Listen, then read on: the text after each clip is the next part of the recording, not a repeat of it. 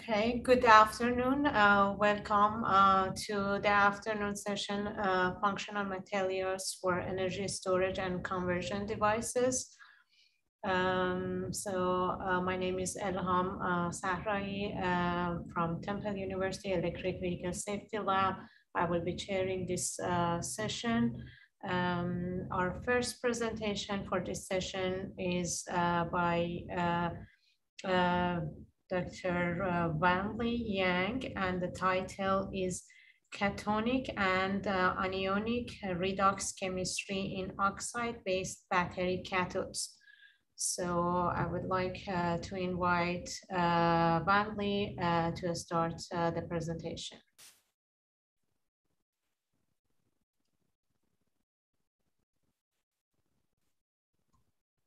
Okay, now I I, I cannot unmute myself.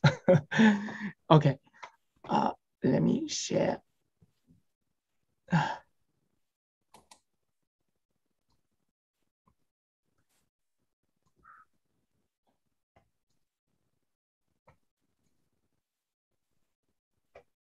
I suppose you can all see my slides and for this small audience, uh, we can have like almost closed discussion. So uh, I will talk about our, some of our recent results uh, on the battery cathode, mostly transition metal oxide based battery cathode studies uh, through the soft X-ray spectroscopy, including X-ray absorption rates that I will explain. Uh, so if we try to define the questions we try to answer here better, uh, I guess we all know uh, a battery has two electrodes and the transition metal oxide based cathode works in the way if you charge the battery uh, lithium ion, a reversible, uh, a reversibly uh, reacting uh, oxidation and reduction by the lithium going in and out of the electrode. That's what we, when we talk about the lithium ion or sodium ion batteries, uh, it all in the same way in general like this. So if you charge a cathode, transition metal oxide based cathode, you will oxidize the system. If you discharge, it will reduce the system. So the question we try to answer here is really which part, or I should say which element of the transition metal system is getting oxidized or reduced throughout this electrochemical operation. And this question becomes more important, especially these days when we are talking about the high energy batteries because we cycle the battery to the very high voltages. Uh, and in that case, if the oxygen get involved, whether that will trigger extra problem. So uh, if we go down to the fundamental level, we're really talking about two type of elements. It's the oxygen and the 3D transition metal. Those are the low cost transition metal used in all the, uh, so far, all the commercial batteries. And if we talk about the oxidation state or the redox state, we're really talking about the 2p electron state of oxygen or 3d electron state of the 3d transition metals. And that's how the soft X-ray spectroscopy comes in. And we also want to see both the surface and the bulk. So in a very simplified model to look at what do I mean by saying soft X-ray spectroscopy, if we have a continuously tunable uh, X-ray photons hitting your sample, that means you typically require a synchrotron facility to run this. You will excite a core level electron up to the unoccupied state of the outer shell. And this leads to, in physics, called excited state. And the excited state is not stable and they will decay. And that's how you get the two type of signals in the soft X-ray spectroscopy. One type is the relaxation of this excited state will release the energy to the outer shell electron comes out. Another way is to release the energy with X-ray photon emitted out directly. That goes to the two very popular names. If you read any papers talking about X-ray spectroscopy, one is called TEY, it's a total electron yield or TFY is the total fluorescence yield. So you count the total number of electron or photons coming out. And these two techniques, we always use them combined together because they do give two very different probe depths. Uh, one is about 10 nanometers, the other is about 100 to 200 nanometer.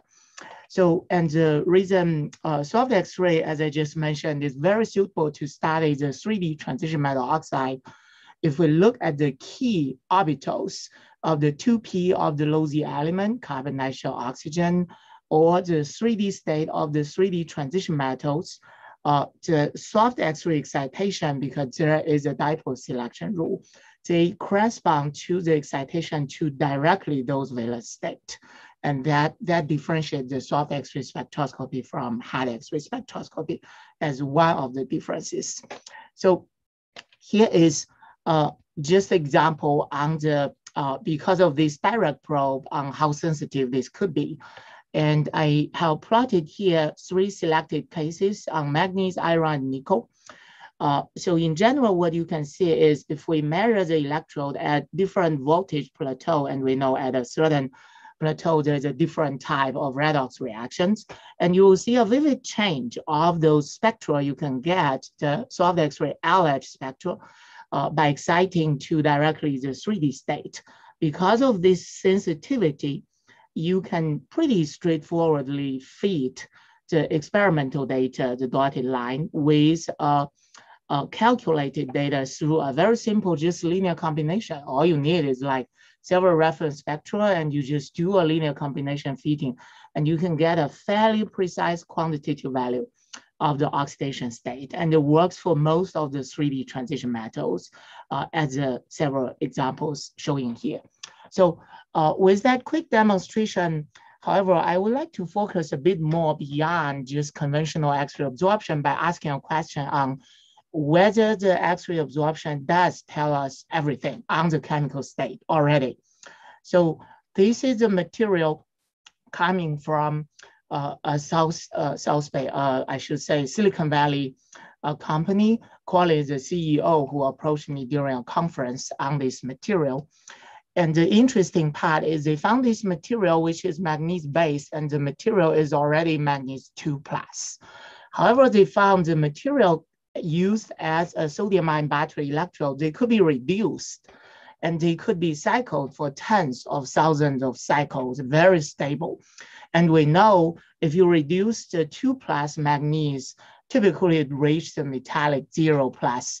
Uh, it's a metallic manganese, but we know it's not metallic manganese because once you form metallic manganese in the electrode, you, you go into that conversion type of regime.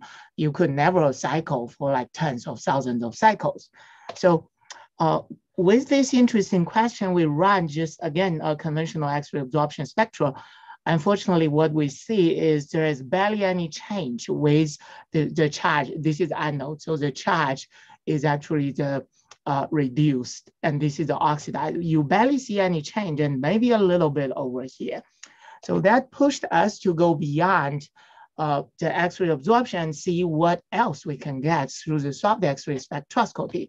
Again, by running the either the total electron yield or total fluorescence yield by counting the total number of those particles coming out, you get a 1D spectra uh, called X-ray absorption spectra.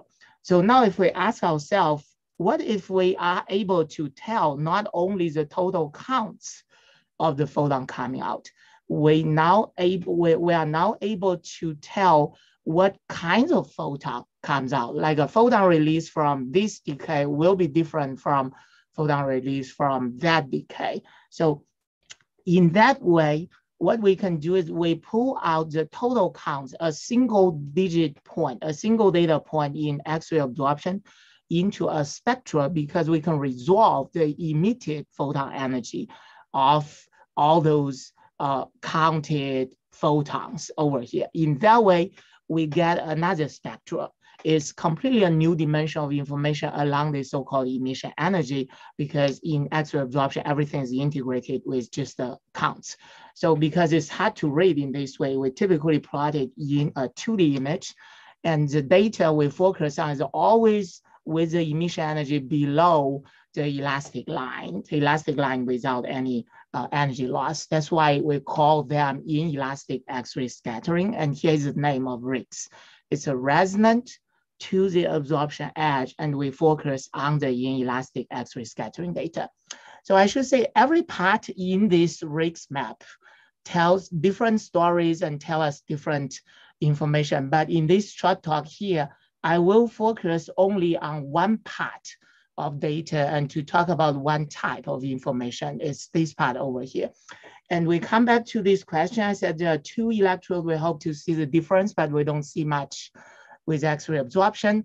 But now if we extend it into a RIXS map, and if we focus only on this part, you see, even you never run a RIXS experiment, I bet you can see the contrast of the charge and discharge uh, uh, result so clearly, the contrast here. And this particular point uh, corresponds to uh, uh, so-called D2D. It's a manganese 3D electron D2D excitation, and that happens only with the manganese 1 plus. And manganese 1 plus is uh, speculated about a century ago, about 90 years ago in a paper written in German, but it was never confirmed and never measured. And uh, we now know the reason because it's very hard to see through the conventional technique, but with the RIXS map, you have greatly improved chemical sensitivity by separating the signal out along this new dimension called emission energy. So with that, uh, I still have five more minutes.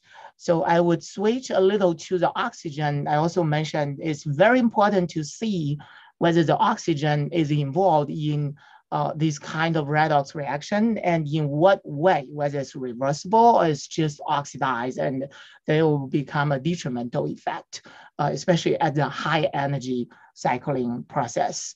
Uh, the oxygen, however, to detect whether the oxygen is oxidized or reduced, we face more or less the same kind of problem with the conventional XAS. Uh, if you look at reference compound, it's pretty okay. If you look at the XAS, uh, the oxidized oxygen species and the typical oxygen 2 minus, they are separated within this uh, energy range. Unfortunately, if you look at the transition metal system, however, the transition metal always contribute to your oxygen K X-ray absorption spectra and the contribution from transition metal, those characters, they show up very unfortunate they show up in exactly the same range that you expect to see that. And this is what I always call a killing uh, experiment. The reason I call it killing experiments is this is a system for all the battery researchers. They know there is no oxygen redox involved in here. But if you look at the oxygen K spectra, you discharge and charge, you see a very strong contrast and there's a peak showing up exactly at the oxidized oxygen state peak but this system has zero oxidized oxygen. So that already tells us using the XAS is not a reliable probe to see whether the oxygen is involved in the redox reaction. So uh, because this push us to go beyond X-ray absorption, again, just like the manganese 1 plus case, we can collect a RIXS map and we can quickly realize there is a specific data point a packet of signal showing up at a different initial energy comparing with a typical oxygen 2 minus system with strong hybridization to the transition metal. And this signal, sometimes they show up in X-ray absorption like a filled up valley. Like in this case, there's nothing shows up. It's, it's just a valley with peaks dominated by transition metal. But we're able to resolve uh, this peak. And there's a long story over here uh, and this peak corresponds to the oxygen redox reaction uh, we can, because we can follow the intensity of this peak upon electrochemical cycling. We can uh, look at the capacity of charge and discharge, and we follow the intensity goes up and goes down, which is a, a circle over here. And they follow uh, pretty well with uh, electrochemical cycling profile. So uh, and we also tested other reference compound that I won't have time to talk about to make sure that is indeed an oxidized oxygen feature. And the reversibly change over here means the oxygen is involved in a reversible oxygen redox. So with that, I should conclude my talk. Great. Uh, so I would like to mention X-ray absorption spectral conventional one is still a powerful tool, especially for conventional uh, chemical state probe. But there are many novel chemical states, especially these days, we're talking about very high voltage, high energy cycling, and you push the transition metal and the oxygen into the non-conventional uh, state, you often need something that is doing better than conventional X-ray absorption spectra, and RIXS is what we have been trying to develop in this field. With that, I would uh, finish my talk by acknowledging my postdocs and students, especially Zheng Qing, uh, Ke Hua, and Jin Peng. Uh, most of the talks I, uh, most of the works I mentioned today were done by them, and we have worldwide material collaborators. Thank you.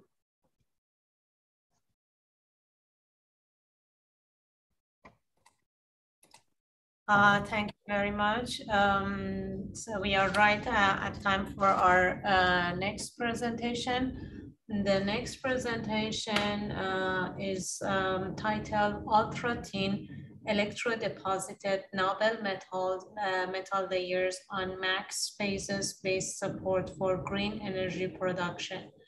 The presentation is by uh, Nevenka Elezovic uh, and Nevenka is uh, not present. Uh, I will present um, her video for her.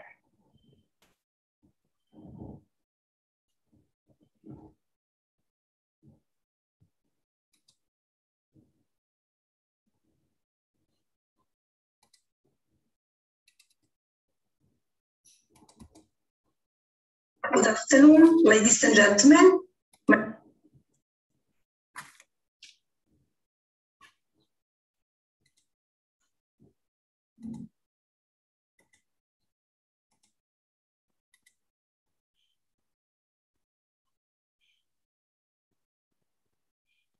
My name is Nevenka Elezovic. I come from University of Belgrade, Center of Excellence for Green Technologies, Institute for Multidisciplinary Research, uh, Belgrade, Serbia. Today, I'm going to talk to you about ultra-thin electrodeposited noble metals layers, MAX phase based support for green energy production. First of all, I would like to thank the organizers for the invitation to be part of this special event.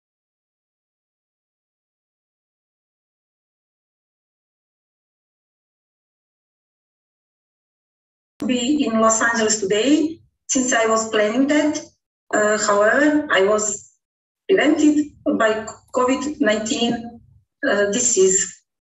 I would like to pay your attention that this presentation contains copyright protected materials, so please treat it confidentially.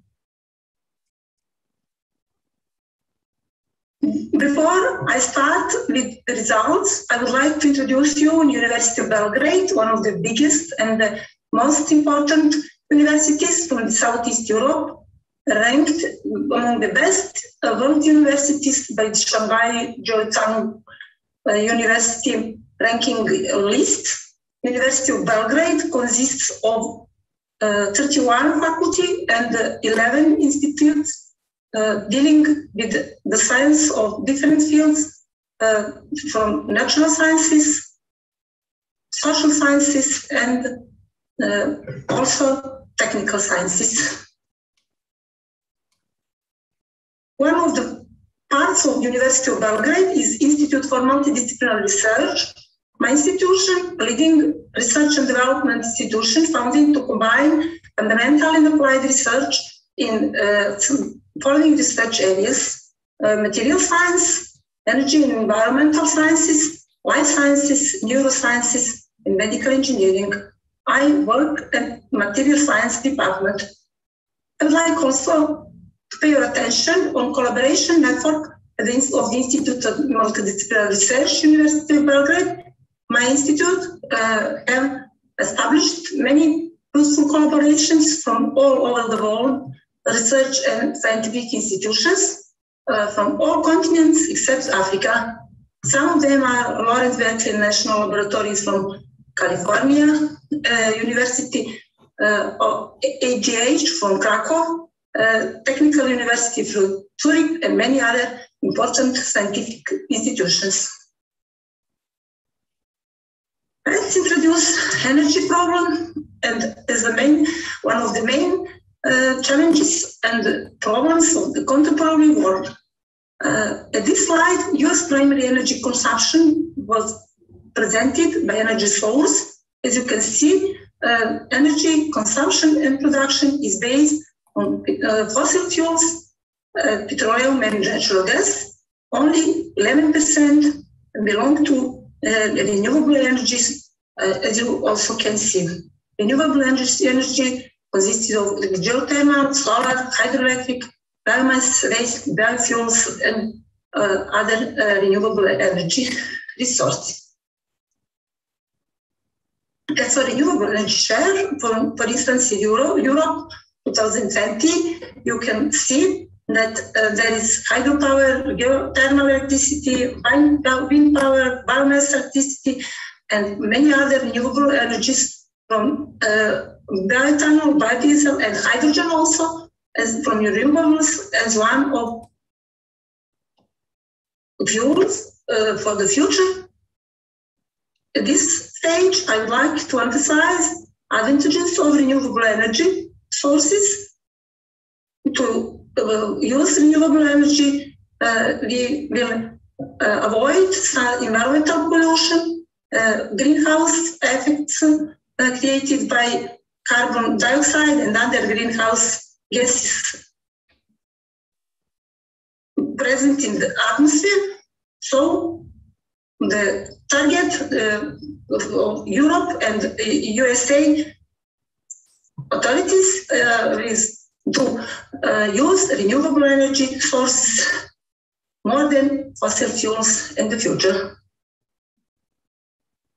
Let's talk about hydrogen, pure high efficiency environmental friendly fuel, usually produced by gas or oil decomposition in nuclear plants or by biomass degradation. The pure hydrogen is produced by water electrolysis, the established procedure, and from 30% uh, sodium hydroxide solution at 80 degrees of centigrade, nickel-based electrodes. The hydrogen produced by water electrolysis is used as a fuel, fuel in polymer electrolyte membrane fuel cells, while common oxidation agent is oxygen from air. So hydrogen is considered as environmental friendly, high efficiency, zero emission energy conversion uh, fuel for power sources. Many prospective applications of PEMS in applications in portable, stationary, and trade transport devices. This slide, it is here just to uh, explain what we are working for so actually, we are working on nanomaterials for green energy related applications, not only nanomaterials, also electrodepositive materials, uh, for anode or cathode catalysts um, uh, for water electrolysis, and also uh, for anode and cathode catalysts for polymer electrolyte membrane fuel cells. Hydrogen produced in electrolyzers is used as a fuel in polymer electrolyte membrane fuel cells. And then energy produced is used for cars, travel devices, and other objectives of today's uh, our presentation would be characterization of the support, titanium aluminum carbide, the MAX phase is one of the MAX phases, famous supports, electrochemical deposition of ultra-thin iridium layers on uh, titanium aluminum carbide support, physical chemical characterization by scanning electron microscopy, X-ray photoelectric spectroscopy, and uh, energy dispersion spectroscopy, uh, hydrogen evolution reaction or iridium-based catalyst, and also compare, comparison of catalytic obtained activities to commercial carbon-supported iridium ERC. Let's talk about characterization of uh, substrate. Substrate is titanium aluminum carbide, uh, one of the MAX phases, uh, famous uh, materials. Uh, uh, it was patented for Professor Gladston from Drexel University 2003. and these materials have excellent properties um, and desirable properties like high conductivity, high chemical and corrosion stability, and it is also commercially produced easily in low cost procedure, uh, also as uh, solid materials and uh, in the powder form.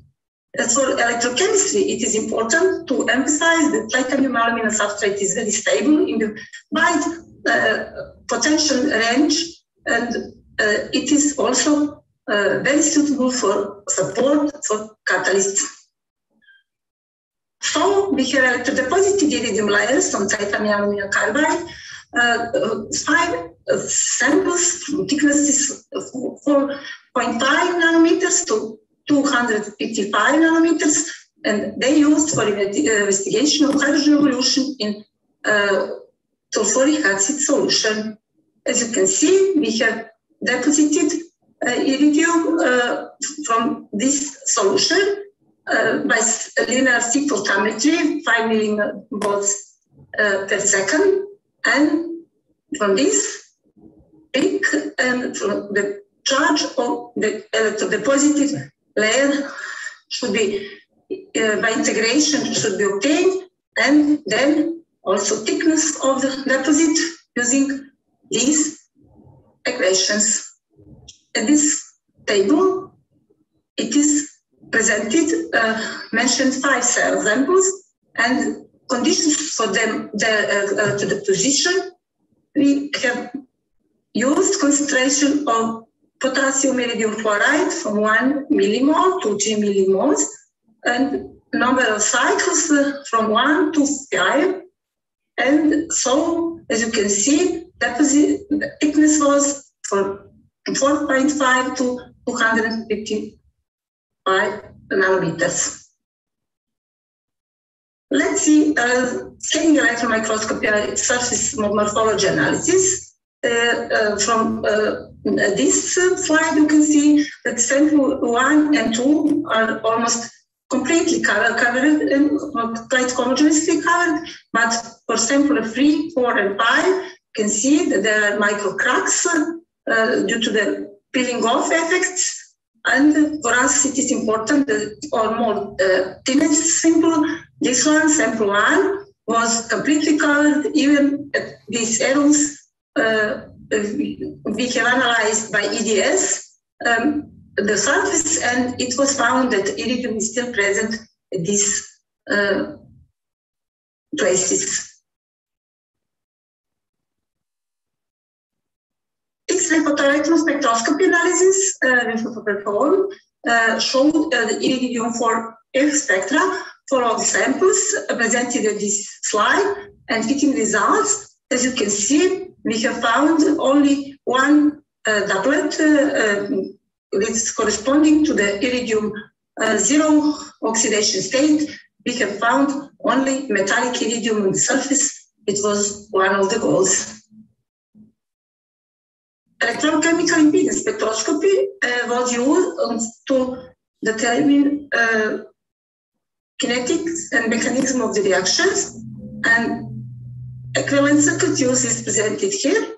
As you can see, very good agreement between experimental uh, it is uh, by line is presented fitting results and agreement is between the fitting and experimental results is observed.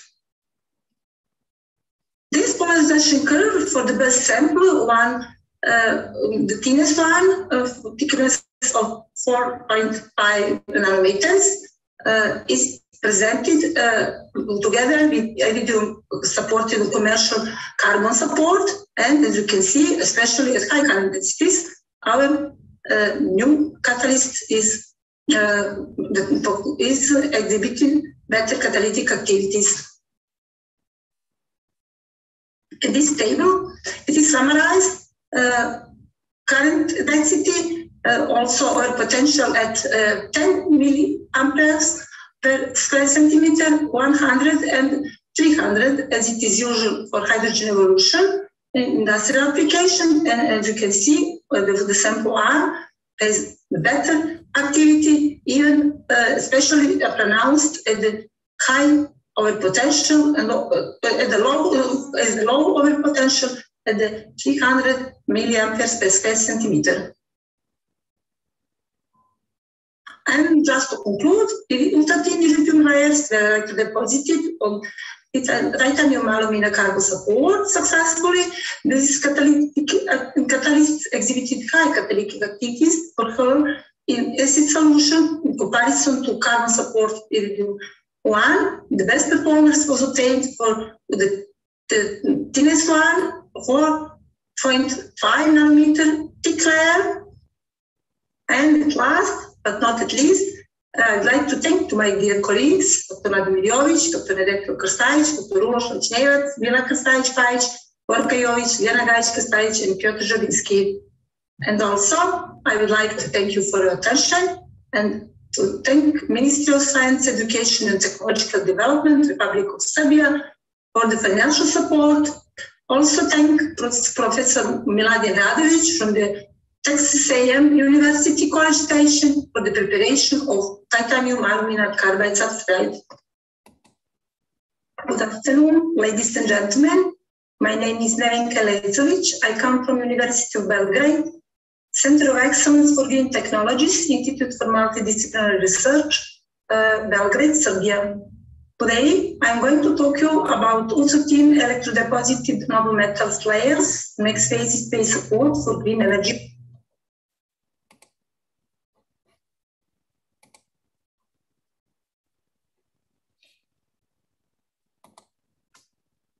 So our uh, next talk is uh, by uh, Dr. Michael uh, Walter from University of North Carolina at Charlotte. Uh, the title of the presentation is Developing Multifunctional High Performance Thiazole, uh, thiazole Materials for Electronic and Optical Applications.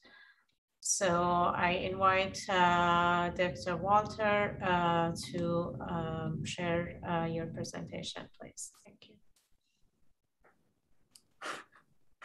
Okay, thank you very much. Uh, let me open this up real fast.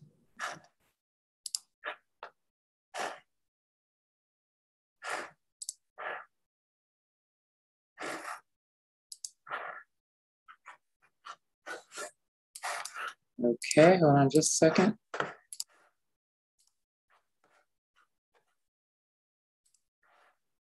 Okay, uh, thank you very much. Um, I'm going to be talking today about developing um, thiazole materials for various electronic and optical applications. And, um, uh, and I appreciate uh, talking today. I'm from the University of North Carolina at Charlotte. And so first, I just want to thank very much all these great, uh, talented students who work in my research group. And a lot of the slides that I'm showing today, uh, many of these folks were involved in some way or the other uh, in this research. So I do have to and um, give them credit for all the hard work they've been doing the last few years here. Um, so in my lab, we work in the area of molecular electronics research, so organic solar cells, um, electrochromics, and organic light emitting diodes. So new materials for these types of device applications.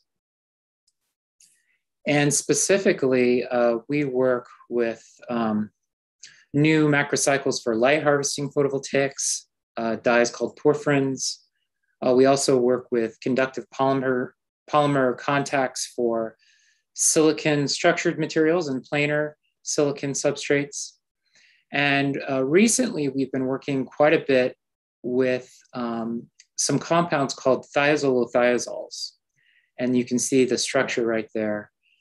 Thiazolothiazoles are unique organic molecules.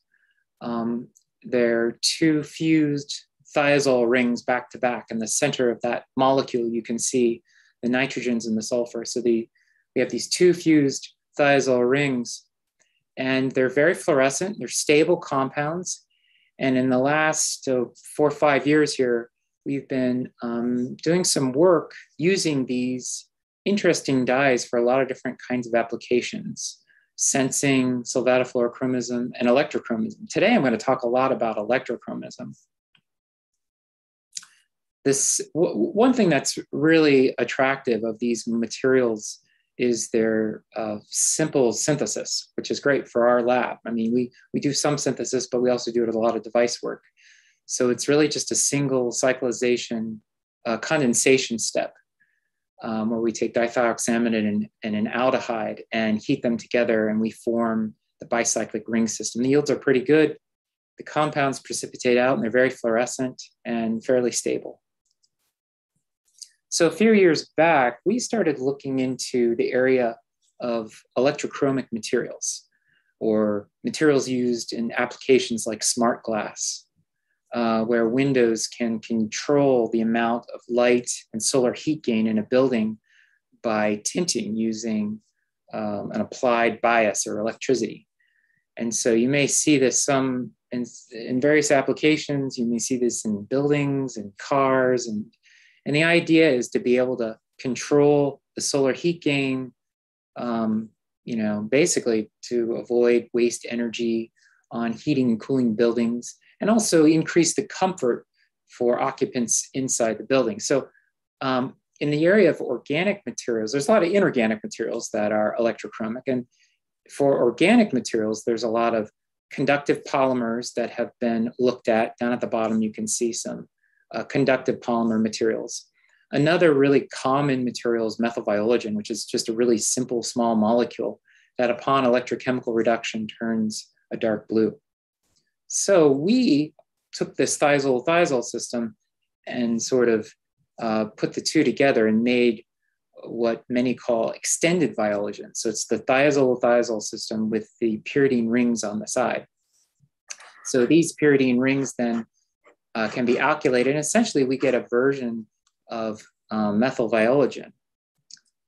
And we found that this methyl, uh, this extended viologen was quite planar. This is the crystal structure of these molecules. Uh, compared to methyl viologen, there's a twist between these two uh, pyridinium rings, whereas this molecule is much more planar. Uh, what was also interesting about these, um, this family of molecules is their high fluorescence. Uh, their quantum yields are very high, above 90%, many of the derivatives. And not only are they very fluorescent, but they're also electrochromic like methyl viologen. So in this picture here, we have two pieces of conductive glass and in between the conductive glass is a is a, uh, an organic solvent with electrolyte and some of these TTZ viologens. And it's reversible. We can go from a clear dication TTZ to the dark blue color. It doesn't look too dark there, but it there's some other pictures you'll see it can be darker. Um, and the electrochemistry is similar to methyl viologen in that there's um, two electrochemical reductions. Now, methyl viologen in um, most solvents, the um, reductions are a little bit further spaced apart, whereas in our system, the reductions are closer together. So you have to do some um, square wave voltammetry, which is shown right here to actually tease out both of those reductions. And I'll just run through this real quick. This is just spectroelectrochemistry as the absorbance, as you reduce it, uh, a single reduction, you have a strong absorbance at 600, and then that other uh, absorbance near 700 is from the second electrochemical reduction, and that's reversible. So um, we can go from a clear or yellow clear solution to a dark blue fully reduced form. And of course, that also turns off the fluorescence. So it's kind of like a switch. So we first reported this back in 2017. Now, recently, what we've been doing is now looking at some different derivatives, some water soluble versions of um, this system, this extended viologen. And Tyler here has been working on um, compounds for this application. And this work actually just came out this summer. And we made some new varieties of these viologens with some pendant groups that allowed for increased solubility, water solubility. And what we found, was kind of unique, is that we're seeing um, the electrochemical reductions be spaced a little bit further which allowed us to actually visually see the purple color, the purple electrochromism, which is the singly reduced form. We couldn't really see that in organic solvents, but we can see that in water. So we made a device um, out of water, and we actually decided to go for a hydrogel device. So we have our TTZ derivative, uh, polyvinyl alcohol, and borax to kind of cross-link it. So this is kind of like a slime um, your kids at home may make some kind of slime like this. This is just um, PVA and borax. And we use ferrocene as a complementary um, uh, agent to get oxidized while the TTZ gets reduced. And so you can kind of see the, the two color changes. So we go from clear to the purple to the dark blue. That's the fully reduced, doubly reduced form. And the ferrocene dimethanol is important to balance the charge on either side of the of the, um, of the device. So uh, you need two ferrocenes because this can be reduced twice. So you need two ferrocenes. So one to two is good, um, uh, is what you need in the device to show good cyclability um, and re recover the clear transparent state. And this is just some spectroelectrochemistry of these devices. And the cyclability is good. So the hydrogel is fairly stable. We can go out to at least 250 cycles without losing too much of the reversibility. Also, we can apply the potential and then turn off the voltage and get back um, the dication state. Or in this case, it's a tetracation because we actually have these solubilizing pendant groups. And here's just 250 cycles. You can see we can um, do a lot with that. Now, all the derivatives, all the derivatives are not the same.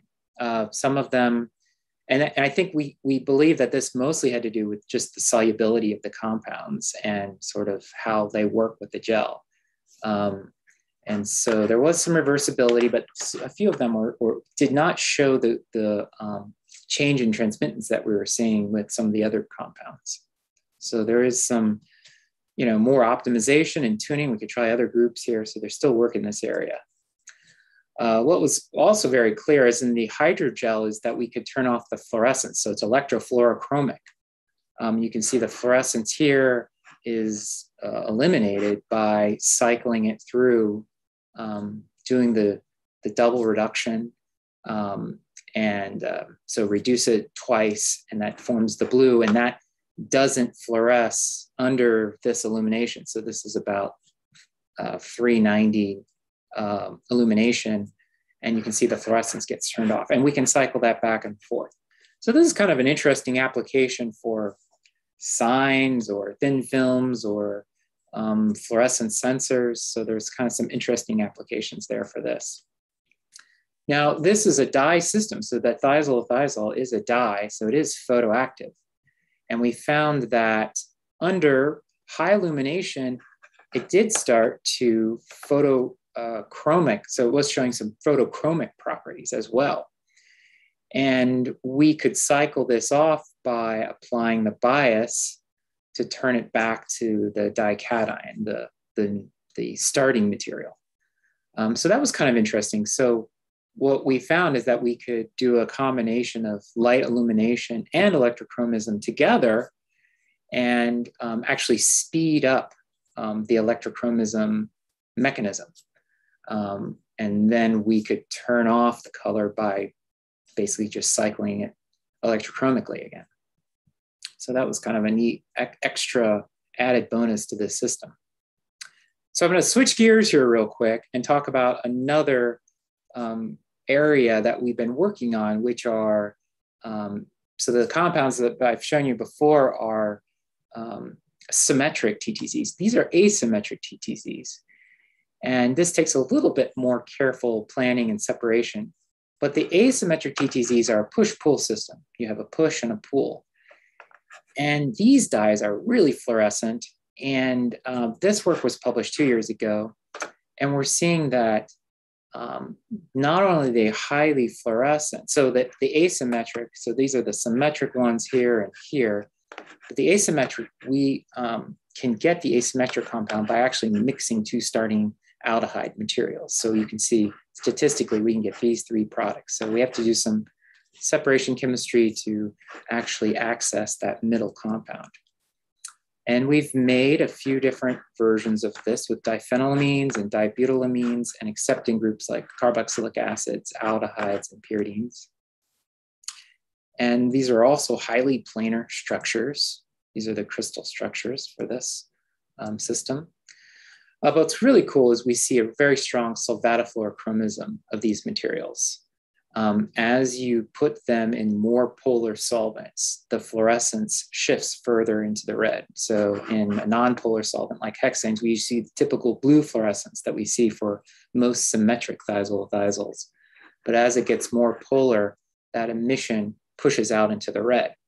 So this is exciting because there's a lot of applications for sensors that um, you need dyes that are very sensitive to their environment and one of these applications is actually a biological sensor. And um, you know, I, I don't really work in this area, so we're actually collaborating with somebody from the University of Chicago. And what we've done is take live cells and stain them. And um, the special dye here that Nick here has been working on stains just the outer membrane. And what we can do is look at changes in voltage um, and use this as a voltage sensitive dye. So when you change, when you apply a, a bias across the cell, the fluorescence changes. So um, this is one way to track a lot of different types of cellular activities. And um, you know, we're still working in this area, but the dye that we're working on shows good stability. This is on our fluorescence microscope, so we see pretty good fluorescence stability and low, low cytotoxicity. So that's good too. So this is, these are, um, you know, cell studies that we're still kind of working on with uh, Yamuna Krishnan at the University of Chicago. So um, I'm not really sure about my time, but um, I will just get to my conclusion. So, you know, I just wanted to talk a little bit about these thiazolothiazoles that we've been, that we've been working on, that they're, they're photoactive, they're highly fluorescent. I'm guessing that there's still other applications that we're not thinking about right now, but we've seen that they're also electrochromic and electrofluorochromic, and they show some interesting photochromism that we can couple with the electrochromism. And also we've been making some asymmetric, so asymmetric push-pull molecular probes that are solvatofluorochromic and they're environmentally sensitive to their the solvent or, uh, or for instance, putting them into a cell membrane. And we're using that right now to look at a possible uh, voltage sensitive dyes for cell. Uh, I'd like to thank you. Um, thank you. Uh, Dr. Walter. Um, and um, uh, please uh, feel free um, to reach out uh, to Dr. Uh, Walter by email uh, for asking questions because uh, we have to now move to our next presentation. All right, thank you very much. Thank you. The next presentation in our session today uh, is uh, nanoscale function uh, in uh, Peru. Hi, this is Jeff Mativetsky from Binghamton University. My research group focuses on the. Sorry, it, it started sooner. So our next presentation is nanoscale function in uh, perovskite and organic solar cells by uh, Dr. Jeffrey uh, from uh, Binghamton University. Um, so uh, we will be playing uh, his presentation on uh, his behalf and you will be able to reach out to him for questions after the presentation.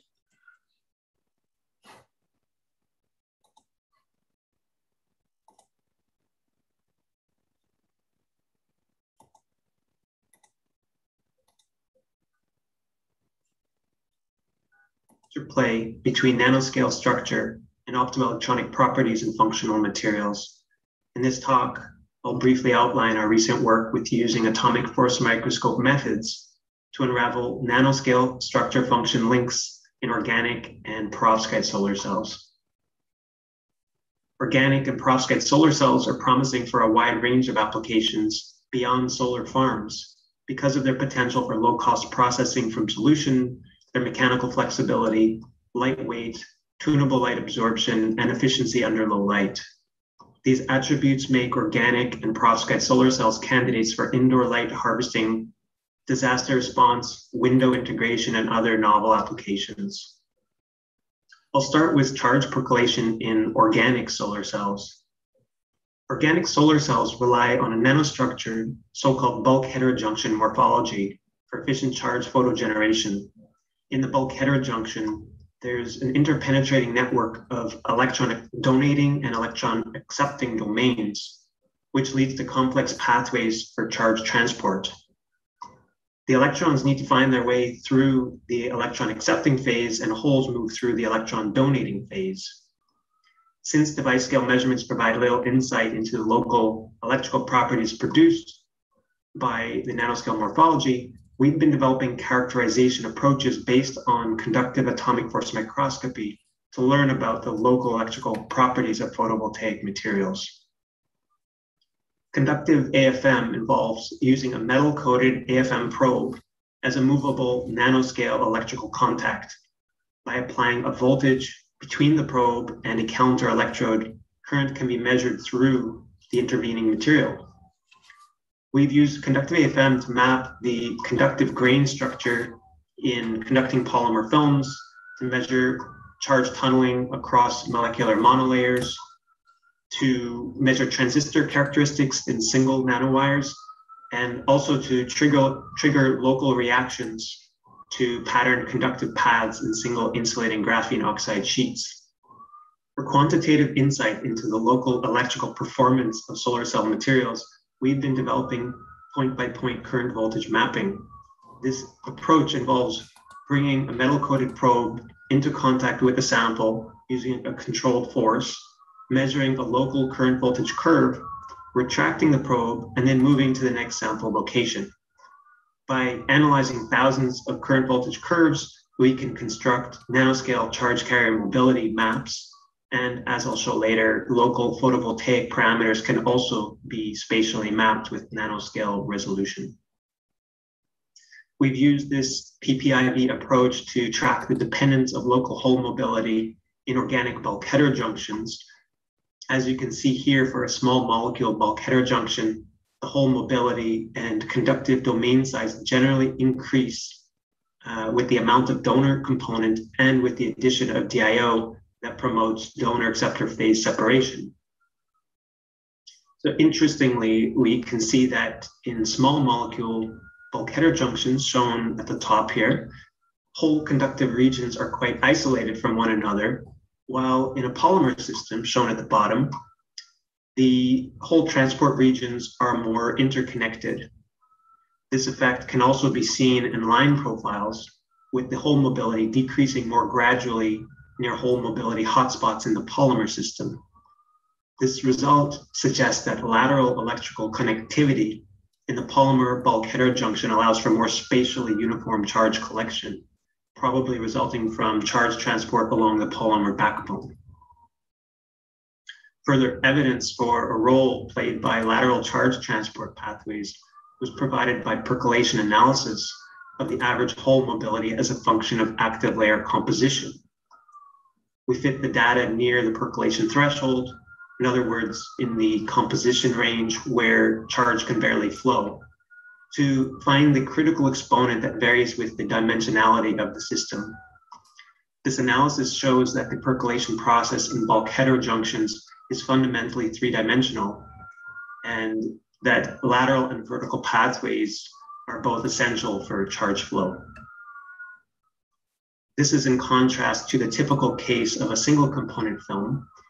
In single component films, we think of charge flow as being uniformly along one direction. However, in bulk heterojunctions, the acceptor material, shown in yellow here, acts as an excluded volume for hole transport, leading to roundabout charge transport pathways. So how does this impact our understanding about ways to improve charge collection in organic solar cells? Well, in the single component case, with charge flow in one direction, a common strategy for improving charge transport in organic semiconductors is to align the molecular pi-pi stacking direction with the direction of charge flow.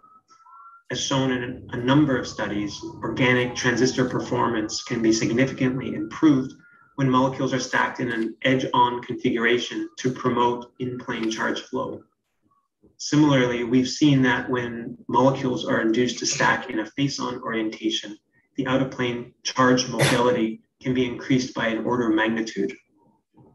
A similar strategy has been applied to bulk heterojunction solar cells to promote out of plane charge transport.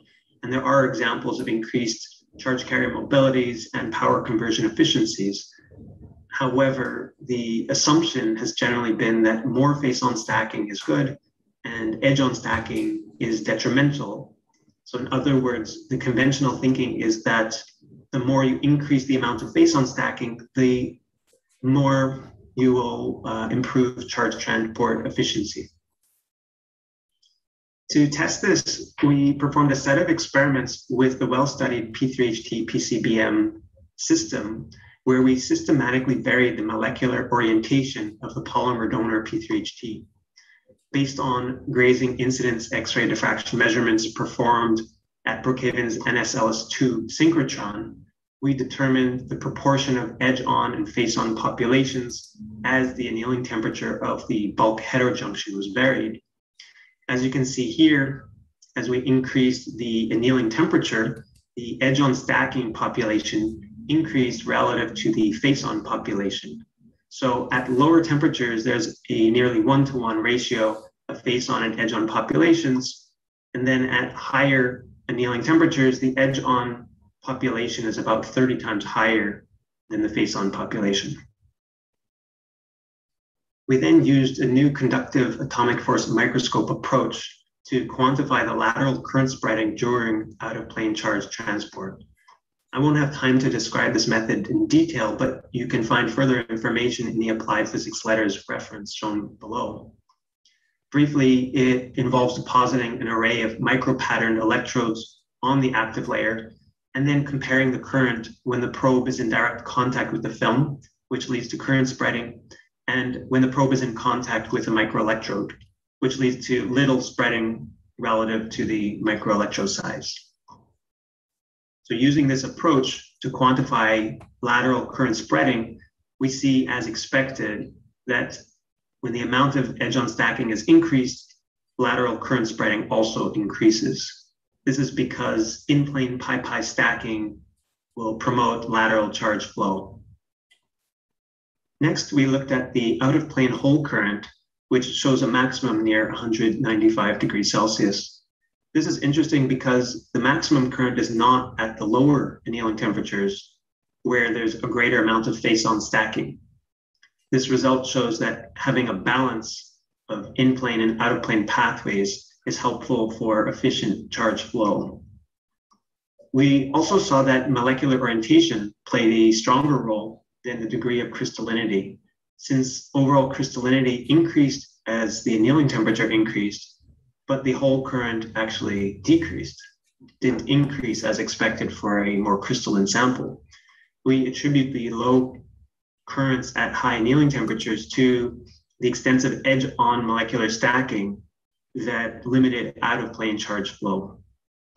In summary, we see that lateral connectivity plays a key role in bulk heterojunctions, and there needs to be a balance between vertical and lateral transport pathways for efficient performance. I'll next briefly introduce some of our work on perovskite systems. Using the same point-by-point -point mapping approach outlined earlier, we measured local current voltage characteristics in methylammonium lead iodide films under solar simulator light. We were then able to construct maps of the local photocurrent, open circuit voltage, and other photovoltaic parameters. Interestingly, we saw that the open circuit voltage showed an increase at some grain edges. To investigate the cause of the increased open circuit voltage at grain boundaries, we used Kelvin probe force microscopy and second harmonic piezo force microscopy, which both show an elevated response at grain boundaries. The increased surface potential me measured by Kelvin probe is associated with N-type doping, while the second harmonic PFM signal has been connected with cation motion. I'll talk a bit more about the evidence for ionic motion since this measurement approach is rather new. During second harmonic PFM measurements, we applied an AC bias to the probe while the probe is in contact with the sample. We then record the second harmonic oscillation of the probe due to surface displacements of the sample. As illustrated on the bottom left, we propose that when an AC bias is applied, lattice distortion during methylammonium ion migration leads to surface displacements at twice the applied bias frequency. One of the pieces of evidence in support of a cation motion mechanism comes from applying a DC bias in between the PFM measurements. So we can see on the right side, when we apply a positive DC bias to the probe in between PFM measurements, there's a minor effect on the PFM imaging contrast. However, if we apply a negative DC bias to the probe, the positively charged uh, mobile cations will be attracted to the sample surface, and that leads to this streaky appearance shown here. Subsequent imaging shows also that there are new protrusions that form at the surface of the sample as a result of this cation accumulation. These signatures of cation motion and nanoscale degradation are only observed under combined stimulation with light and voltage, with the light acting to soften the perovskite lattice and facilitate ionic motion. The observed light and voltage induced cation motion can play an important role in optoelectronic device operation and degradation. In terms of the elevated open circuit voltage at grain boundaries that I showed earlier, we attribute this to two effects. First, the increased surface potential at grain boundaries is associated with N-type doping and local downward band bending. Second, cation accumulation at grain boundaries can deepen local band bending. This band bending can locally attract electrons and repel holes, leading to reduced charge carrier recombination and an increased open circuit voltage at grain boundaries. In summary, we used newly developed conductive probe methods to assess the nanoscale functional properties of emerging photovoltaic materials. We saw that in organic solar cells, charge percolation relies on a balance of in-plane and out-of-plane charge transport channels Unfortunately, we cannot finish this uh, presentation. A uh, few uh, seconds left um, as we have to move uh, to our uh, next presentation uh, by Dr. Song Ho Yu. he's not present, so we will be um, broadcasting the video he has sent to us. The title of the presentation is Theoretical Optimization of Bifacial BIPV module for uh, apartments. Uh, so uh, with that, um, we start the presentation. We start our uh, next presentation for you um, to continue the session.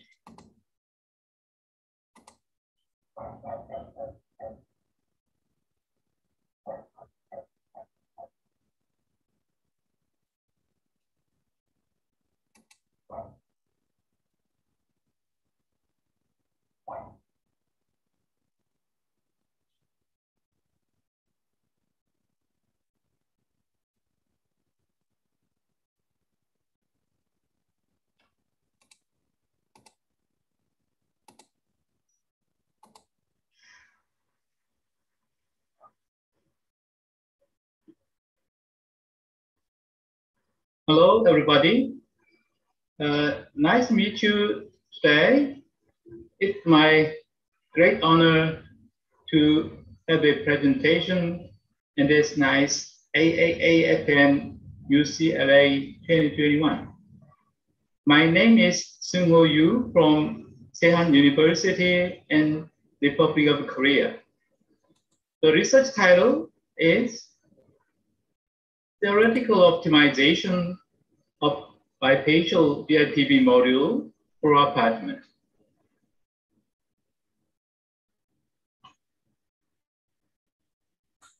The contents is, is as follows. First, introduction, research methodologies, and third, target apartment description. First, simulation results, and the last, discussions. A large portion of the energy is used for heating and cooling of building approximately from 25% in Korea to, to 50% in the USA and 40% in Europe. In Korea, already be built as a new zero energy building. For example, 2020 public building over 1,000 square meter. And until 2030, all buildings should be built as a new zero energy building over 500 square meter floor area. In Europe and the USA, already built as new zero energy consumption building since the end of 2020. The optimal energy harvesting methodologies, optimal envelope with multifunctional building integrated bifacial PV system will be, will be researched, will be simulated in this research. And uh, zero energy building as a kind of multifunctional building integrated photovoltaic system will be discussed and will be mathematically analyzed to make an ecological PV envelope system or design criteria close to a zero energy building as a kind of multifunctional building integrated photovoltaic. And mostly this research is focused on the ecological use of bifacial PV modules based on the ecological design criteria. This figure shows a special model for building physical information modeling of the solar apartment. This is a this is an overview of, of a room and a apartment. We can see the in the left side the photovoltaic module as a shade. This is a a hard point in this research. And through this shading PV system,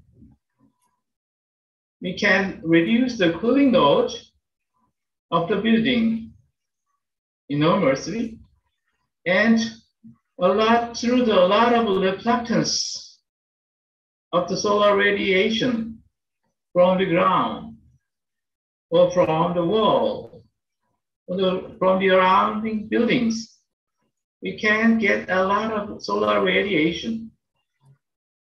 Then the photovoltaic module as a shade. They can get a lot of power generation. Multi-purpose use. Can say that.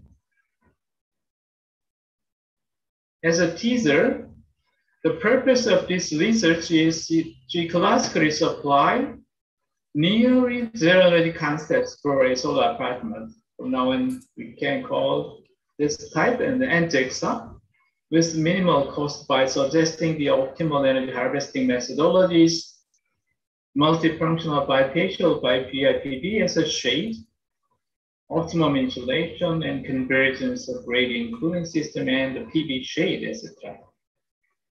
In the right side, you can see the basic concept of the NJEXA. Through the optimal harvesting methodologies, you can get a lot of uh, power generation and minimum heat loss. And through the maximum heat gain in winter and maximum elimination in summer. During these processes, we can Consider the regional climate and the architectural culture of a, any region in the world to make a near zero energy apartment for a human comfort and heating and cooling load reduction. And research methodologies. A high-rise apartment is selected as a target building for an evaluation of a BIPV associated in this research. Various variables for building integrated PV systems will be simulated to this high-rise apartment comparison, many aspects. This is a classical design criteria of BIPV for solar architecture from the effective solar radiance to the environmental the, for the sustainability evaluation of the building, exactly speaking, the apartment. These evaluation standard criteria or methodology for the solar architecture realizing a near zero energy building that our research group has developed has become also an official standard of Korean Solar Energy Society and the Korean Society of Living Environmental System. You can find and the uh, internet homepage here. And the target apartment description. The target apartment is located in the center of this apartment complex in this area. And around this floor, the, in the ground, on the, uh, for example, Chinese floor, the unit floor plan of the target apartment can see here. This is the living room, room one, room two. In the south side, the BIPV system as a shade will be designed as a shade, like this. The section of this apartment. This is the living room, and the south side, the PV module system as a shade is installed like this, like this, on each floor. In summer, the solar radiation is shaded by the oval panel, but winter, solar radiation go through to the window, to the room.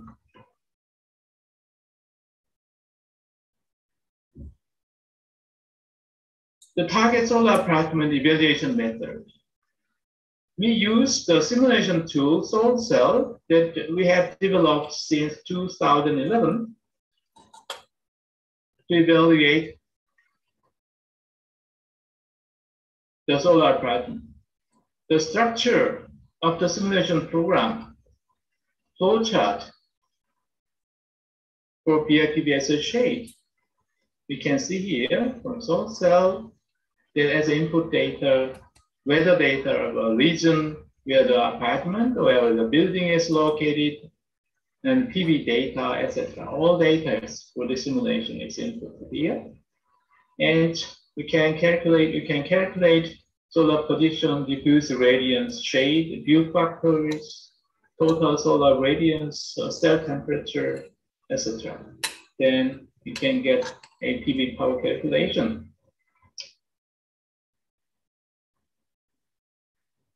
Target solar apartment evaluation parameters, possible parameters will be input in this program. This is a modeling for the apartment as a shade. This is a panel on the, on the facade over the window. Length, width, the section of the solar radiation modeling, the light one. And this is a photovoltaic module as a shade. And red line here is a is shown the solar radiance, solar ray, all possible solar rays around the building to arrive at the over surface and the under surface of the module, reflected radiance, etc. All things, the real thing. This was considered by the principle of eave of Korean traditional house, the left one here. Very, a lot of merits of the traditional house we can find. All possible parameters of PV module for simulation we can see here from the building latitude, azimuth, longitude, the system type, unit module dimension, PV area, transmittance, depth, and thermal conductance of PV cell, absorptance, reflectance of PV cell, etc., etc. Albedo birds and reflectance of window ratio, ratio of cell in module, etc. All possible parameters will be simulated and simulation results. For this highlights of Python, 28th floor, from 28th floor to 9th floor is installed as a shading, shading PV system. And for the shading PV case, and wall attached PV case was calculated, we can compare with each other.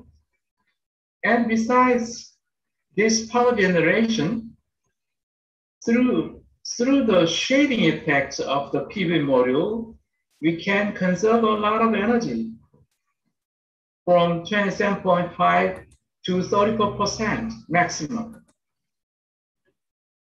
This curve Unfortunately, we cannot uh, finish um, the video because we have to stick to our timeline and uh, it is now time for our uh, next presentation. Uh, our next uh, presenter, um, uh, I saw in the audience, but I think maybe they moved for a second but I start announcing uh, the next presentation is on thermodynamic interpretation of the open circuit voltage in energy conversion materials by Dr. Mario Einax uh, from Department of Physics and Astronomy, um, Bos, uh, Botswana International University of Science and Technology uh, from Tel Aviv. Um, so if Mario is not here, we have to uh, make the presentation uh, from the recorded uh, video. So we're gonna start that now. Good afternoon, Michael.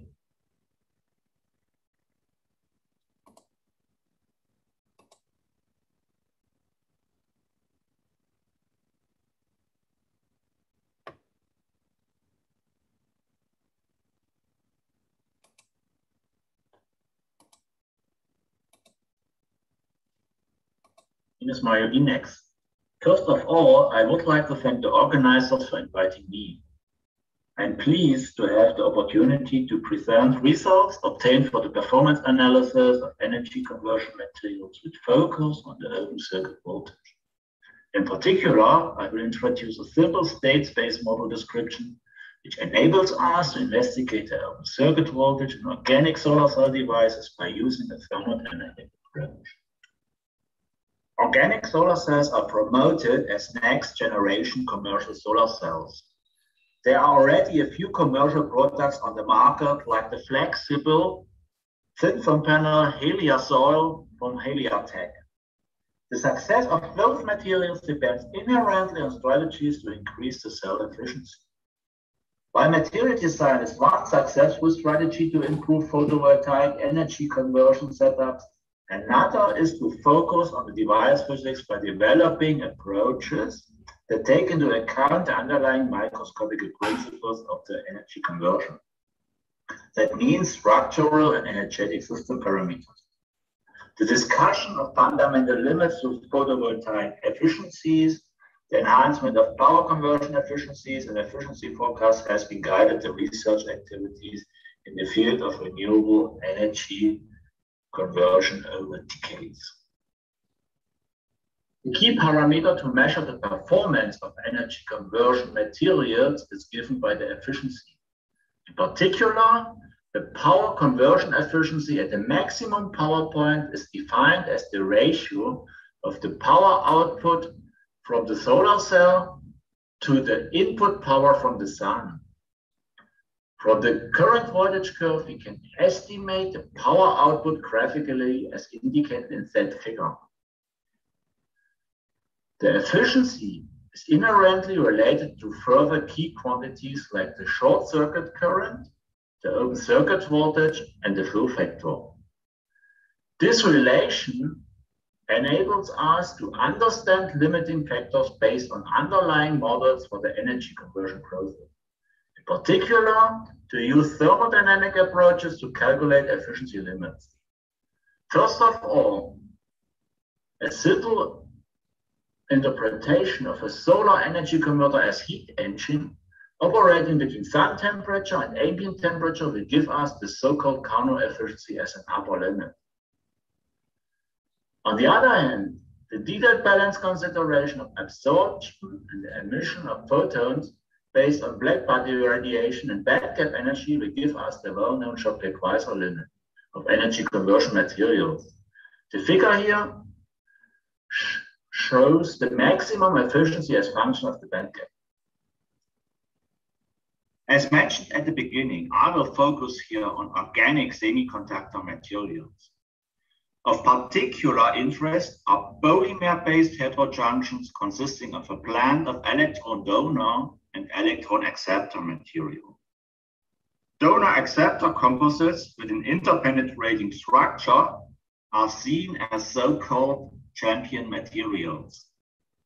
In these materials, the generation of free charge carriers, which can be harvested at the electrodes, is limited by the complex interplay between charge generation, diffusion, and recombination processes. In bulk heterojunction organic solar cells, the generation of free charge carriers requires that photo-induced on the donor material must diffuse and dissociate at the donor acceptor interface before their recombination takes place. This exciton dissociation at the donor acceptor interface starts with the formation of a charge transfer state. This charge transfer state can either recombine non-radiatively or undergo charge separation leading to mobile electron and hole carriers. The energy level picture shown here helps to understand the underlying microscopic processes and provides a foundation for modeling the energy conversion process. In that picture, the donor and acceptor molecule are described as a two-level system having a HOMO and a LUMO level. The electron transfer at the interface takes place between the LUMO level and the donor at the donor and the LUMO level of the acceptor. Based on the energy level picture, we can develop a minimal state model that includes essential physical features of organic heterojunction solar cells. That model contains electrodes at which charges can be harvested light-induced electron excitation and relaxation between donor energy level, radiationless excitation and recombination, charge transfer at the donor-acceptor interface, as well as the possibility of geminate recombination at that interface. Important parameters are the donor band gap energy as well as the donor acceptor gap energy. Because organic semiconductors are disordered excitonic materials, charge transport takes place based on an hopping transport mechanism. The figure here shows the four accessible system states reflecting the charge transport in an energy landscape. The system dynamics is modeled by a master equation accounting for the time evolution of population probabilities. The population probabilities fulfilling normalization at all times. In that stochastic approach, the processes underlying the device operation are described as transition between microscopic system states.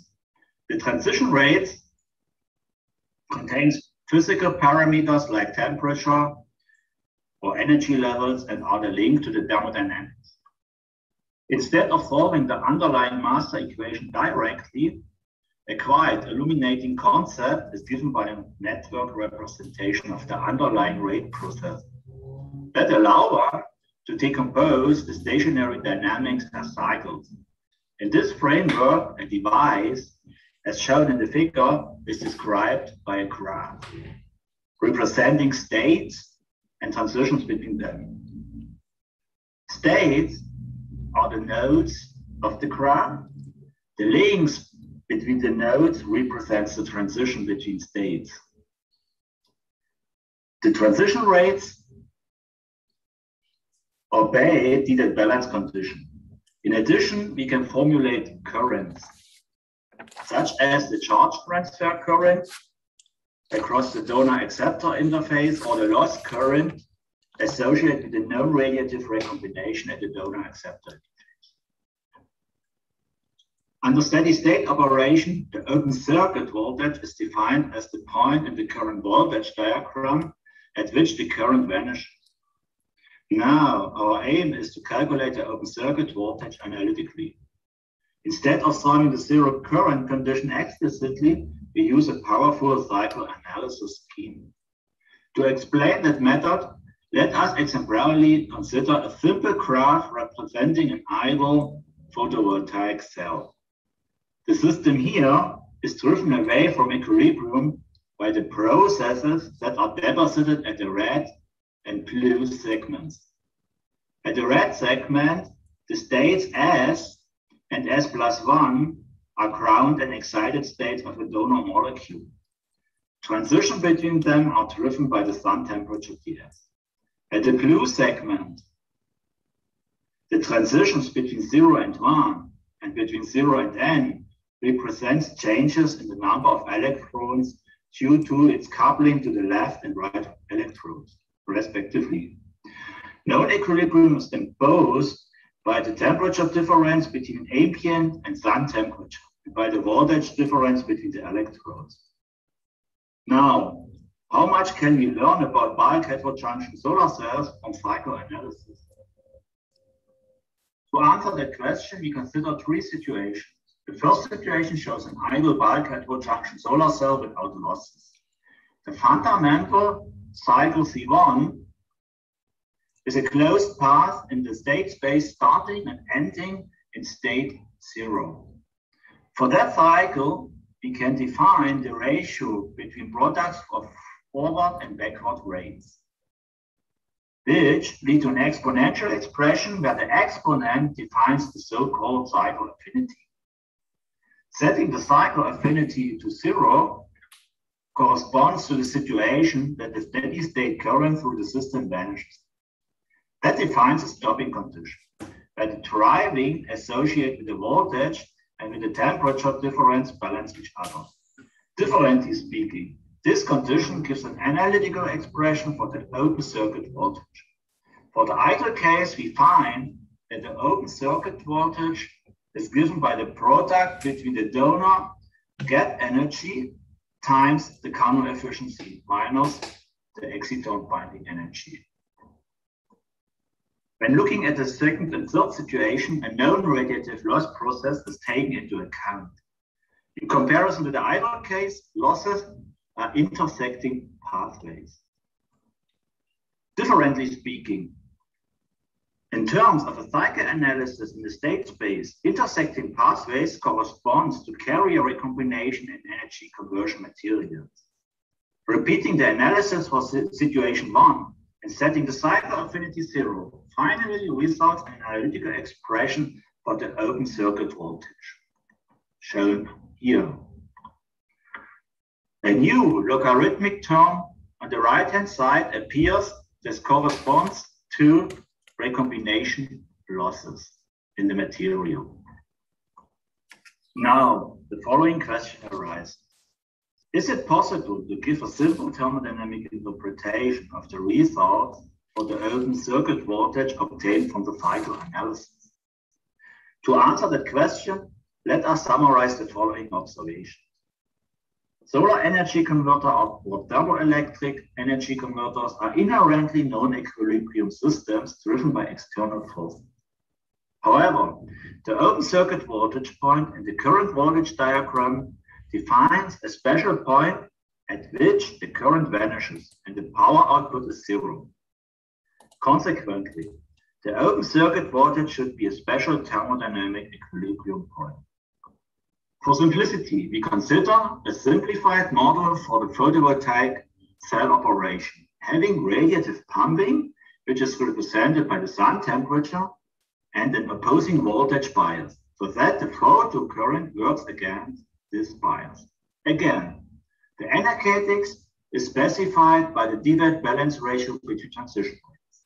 Now, the focus is in what follows on the thermodynamic properties of the open circuit configuration at which the current becomes zero.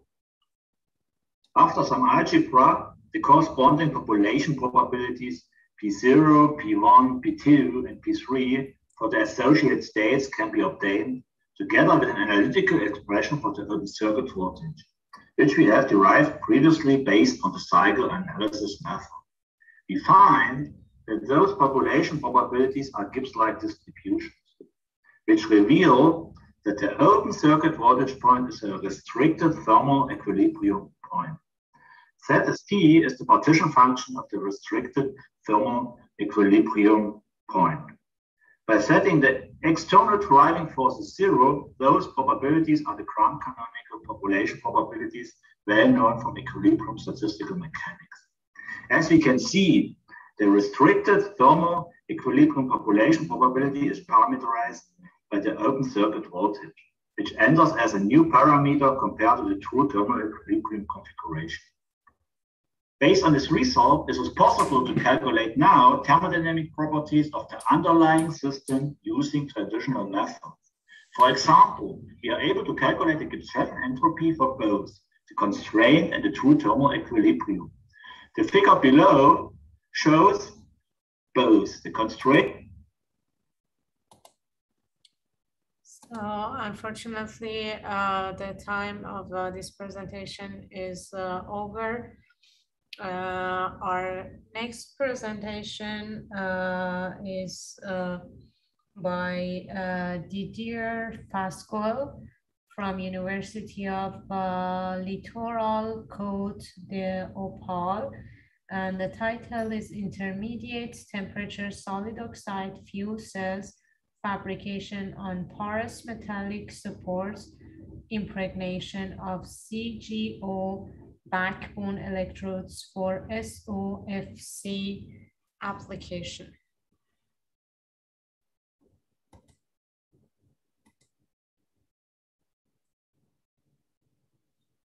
So unfortunately, uh, I don't see Didier or co-authors Zaya or Sarah in the session. And we don't have a video of uh, Didier, so uh, we will have a 15 minutes uh, break. If you have any questions uh, from the previous authors that already uh, presented their work, um, you are welcome to ask uh, questions now. You can raise hand so that I can unmute you and you ask your questions.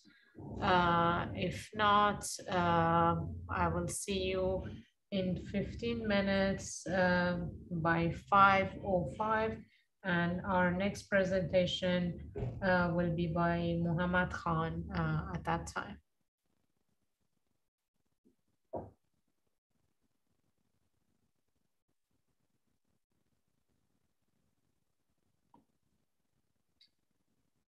Okay, I don't see uh, any raised hands for questions. So um, we will just uh, come back to the session uh, at 5.05 by our next presentation uh, by Muhammad Khan. Thank you.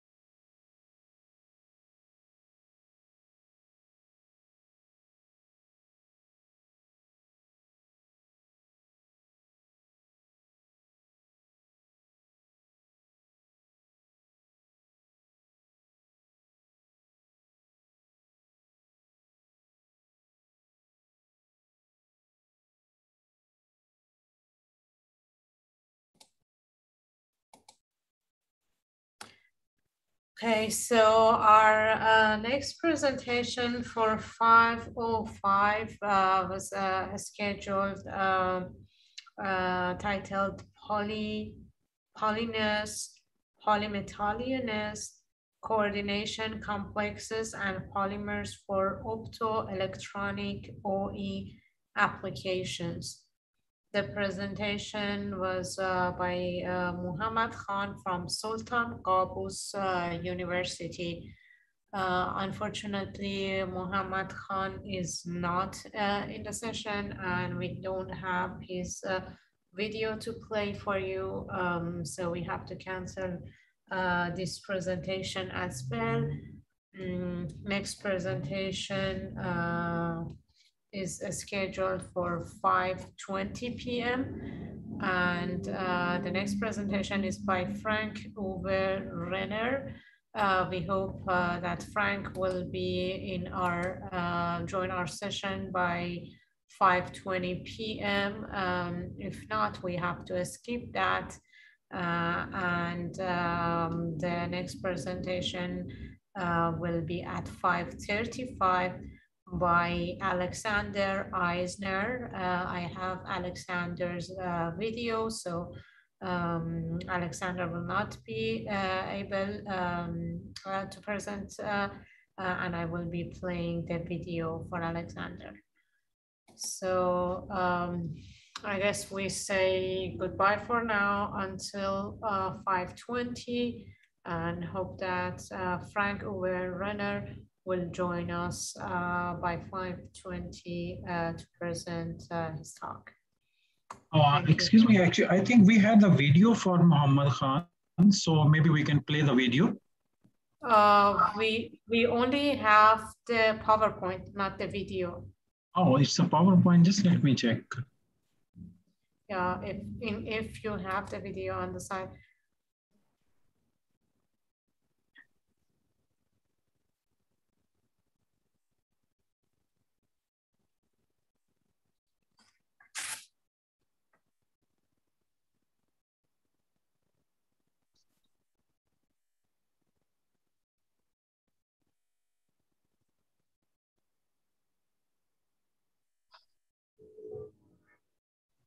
Oh, yes, you are right. It was just only the PowerPoint, so we cannot play that one. Uh, sorry yeah. for that. I thought it may be the video. Yeah, unfortunately, we don't have uh, the video. Um, so um, um, we will uh, rejoin at 5.20 and we hope that Frank will be with us. Uh, if not, uh, we will rejoin at 5.35 uh, we have the uh, three uh, videos of uh, the next three presentations. Uh, so um, all those three will be broadcasted if they cannot join us by their appointment time.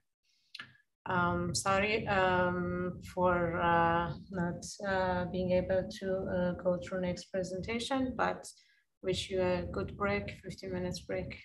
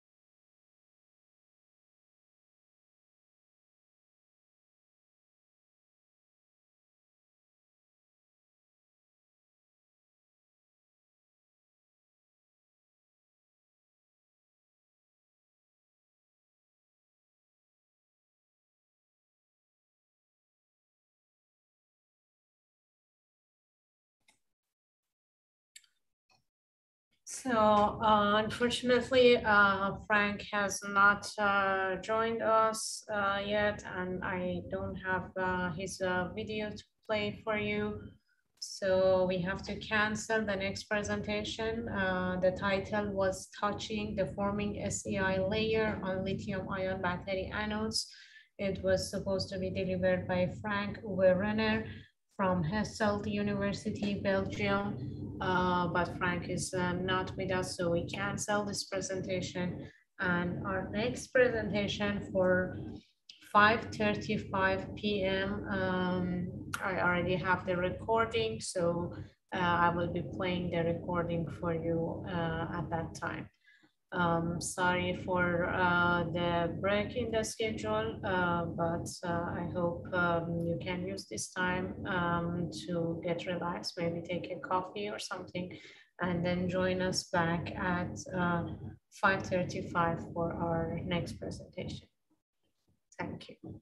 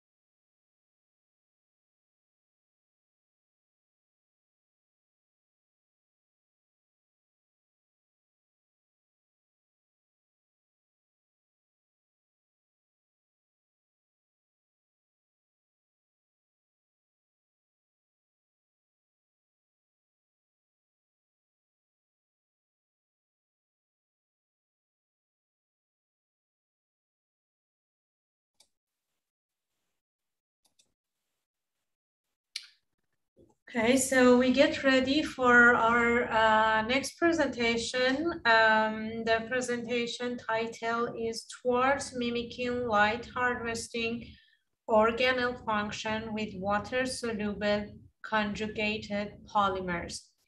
Uh, the presentation is by Alexander Ayzner from University of California, Santa Cruz. Uh, Alexander with us uh, was with us earlier, but he had to leave. So um, I will be using uh, the recorded video that he has uh, shared with us uh, with you.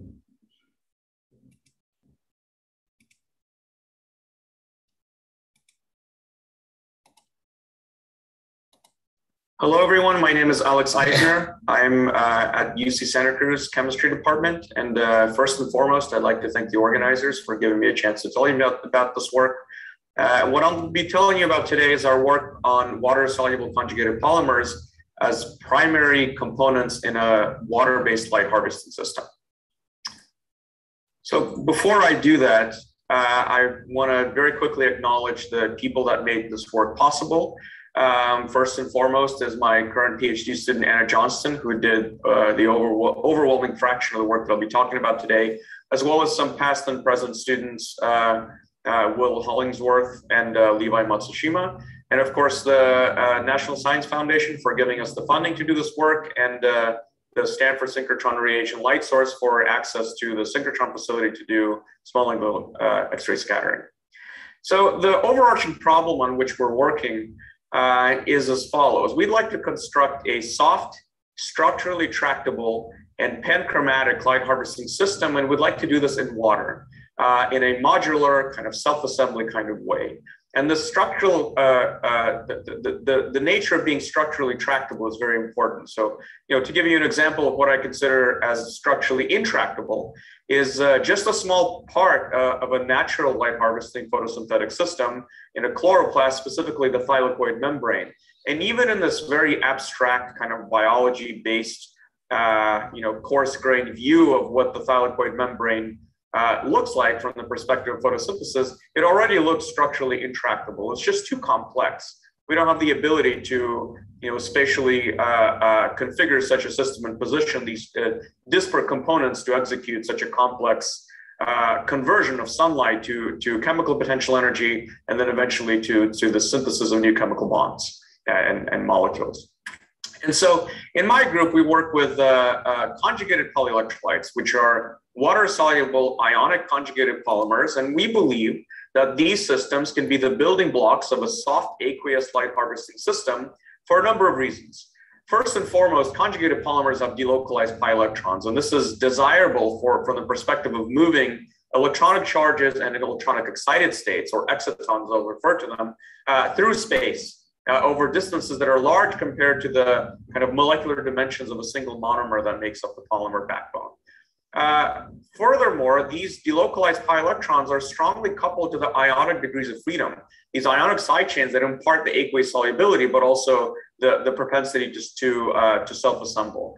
And as the ionic degrees of freedom evolve, or as these side chains move, perhaps in response to the ionic atmosphere in which they find themselves, they tug and pull on the delocalized pi electrons. And as the delocalized pi electrons adjust to what the ionic degrees of freedom do, the effect things like the, the, uh, uh, the mobility of charge carriers, the, the uh, transport of electronic excited states, and generally the electronic uh, uh, states of the system. And so this is actually quite desirable and very interesting from a number of uh, points of view. These conjugated polymers, these conjugated polyelectrolytes, or CPEs as we refer to them, have rich many-body interactions. And just as, as, as some of, of the interactions that they possess uh, that I list here are water pi interactions or hydrogen bonding between water molecules and these delocalized pi electrons, ion pi interactions like cation pi and uh, uh, anion pi interactions, of course, pi-pi interactions, hydrophobic interactions, and so on. And so the totality of these uh, interactions uh, in our opinion, gives them much potential to serve as complex hierarchical assemblies for, for, for the, uh, the, the purpose of converting sunlight to usable energy, like storing chemical potential energy. And so in our previous work, what we've done is we, we, we've looked at uh, pairs of oppositely charged poly, uh, CPEs, where one of the CPEs served as an exciton donor, and the other CPE served as an exciton acceptor. And what we showed is that if you put these systems together under the right conditions in water, in dilute solution, they self-assemble and they give rise to ultra-fast exciton transfer from the donor, in this case, this uh, uh, polyfluorene alphenylene uh, model CPE with cationic side chains. Uh, once it's excited, we've shown in collaboration with the Art Bragg group at John, Johns Hopkins University that these excited states very rapidly transfer to the exciton acceptor, in this case, a polythiophene-based polymer, um, in a time of order 250 femtoseconds. This kind of energy transfer timescale is commensurate with what you find in natural light harvesting systems, which was quite exciting for us. But what's perhaps most special about these kind of systems, uh, particularly as compared to charged small molecules, is that the connectivity, the physical connectivity between the monomers that make up the polymer backbone leads to really complex and very exciting, very interesting phase behavior uh, that is at the forefront of research in the non-conjugated polyelectrolyte community. So for example, if one takes two oppositely charged polyelectrolytes, non-conjugated polyelectrolytes, puts them together at ionic charge equivalence, at, at, at ionic stoichiometry, um, and looks at what happens uh, to the to the uh, to the solution as a function of increasing ionic strength in the presence of simple ions, what you find is that these polyelectrolytes stay separate and they form a dilute solution coexisting with a concentrated solution, or what some people refer to as a dense phase.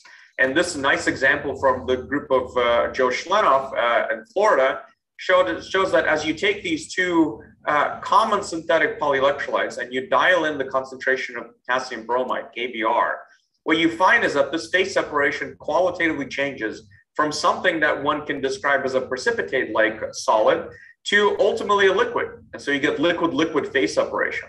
And the amount of these relative phases is tuned by the amount by the concentration of the small ion, in this case KBr, eventually at high enough ionic strength, merging into a single fully dissolved solution from what started was a uh, from what began as a phase separated solution. And if one looks at these solutions under the microscope, what you find if you agitate the full system and to be, uh, you know, to be uh, macroscopically homogeneous is that there are these, uh, you know, uh, effectively drops of liquid swimming through uh, the, the, the, dilute solution, showing you that it's a true liquid-liquid phase separation phenomenon.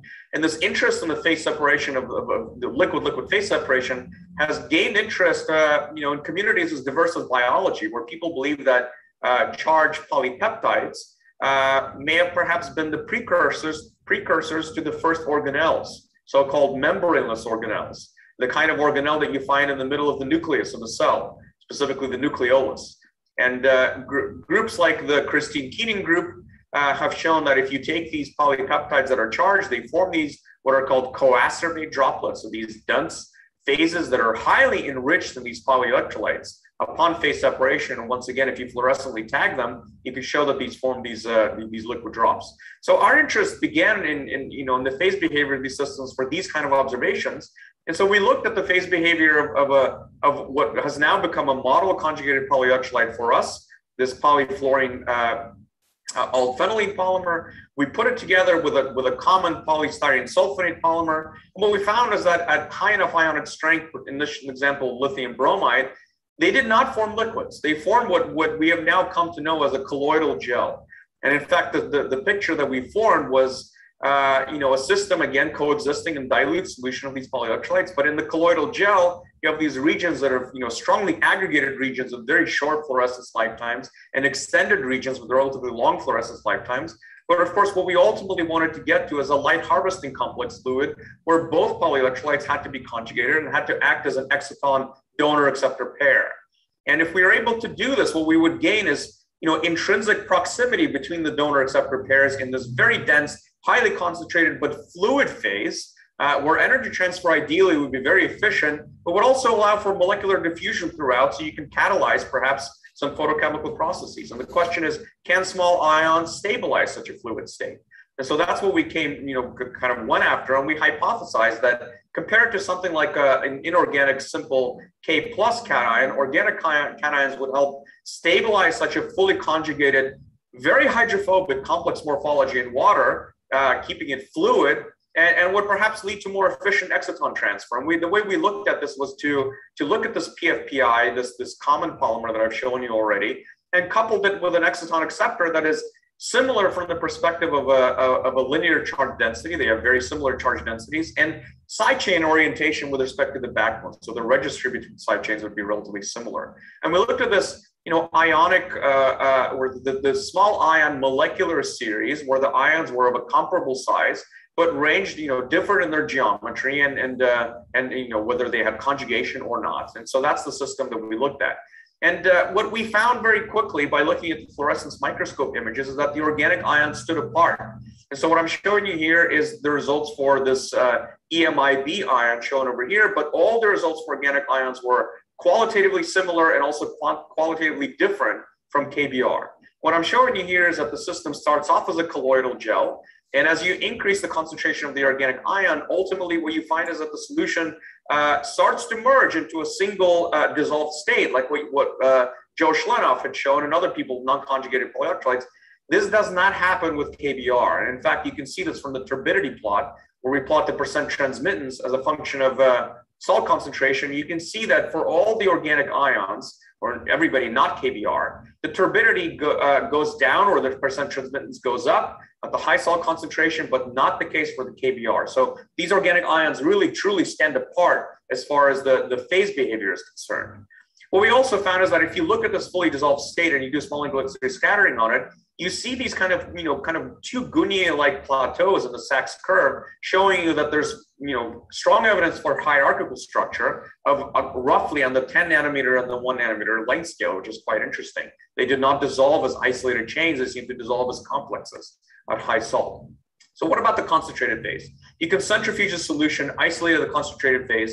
And what I want to show you here is that the concentrated phase is truly a complex fluid. It has this, you know, kind of a toothpaste-like appearance. You can see this cute little shark fin of a phase that we isolated, uh, you know, that is highly viscous, more viscous uh, than the half conjugated case that I briefly showed you earlier, which is quite interesting.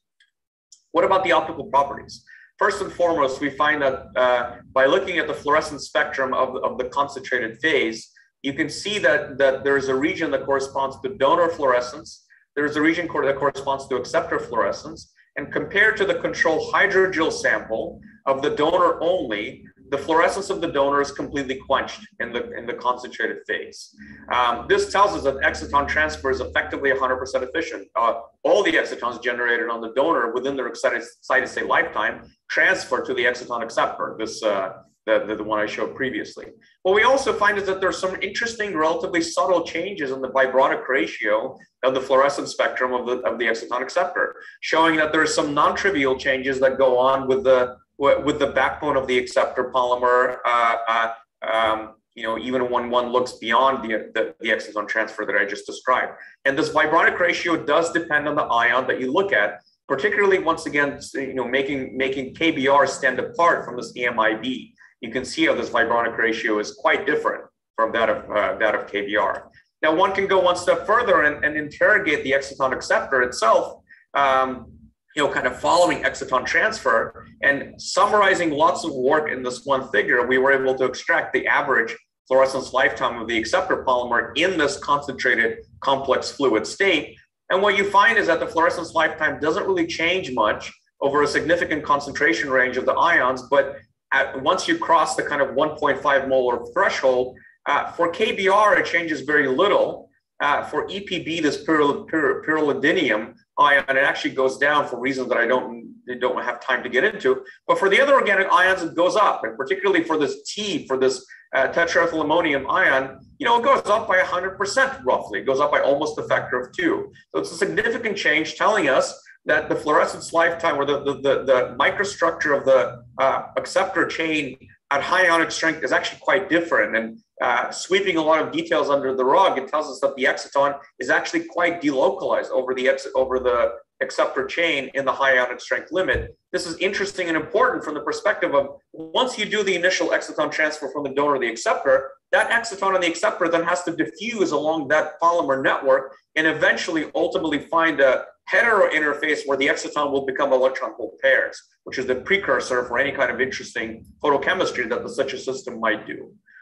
And so to summarize what we found, uh, we've shown that associated phase separation of these CPEs leads to liquid-like properties, but not a coacervate. uh, like what's found in, in non-conjugated systems, uh, at least with these chemical structures, and we'll have a lot more to say about this with some new conjugated polymers that we recently synthesized. Uh, these concentrated fluids with very efficient exciton transfer, again, all water-based, and that these organic ions can stabilize the fully dissolved state ionic strength, but they do not seem to hold any advantage as far as exciton transfer is concerned. Regardless of what ion you use, exciton transfer is highly efficient. And so all of these kind of findings uh, uh, make us really excited about the future of these kinds of systems, whether as you know as, as standalone uh, systems uh, with with modularity, or also as parts of a more complex overarching system that perhaps has a membrane shell that encloses it uh, you know, akin to the what one sees in, uh, in natural photosynthetic systems. And with that, I'd like to thank the organizers again, and thank you very much for, uh, for your attention.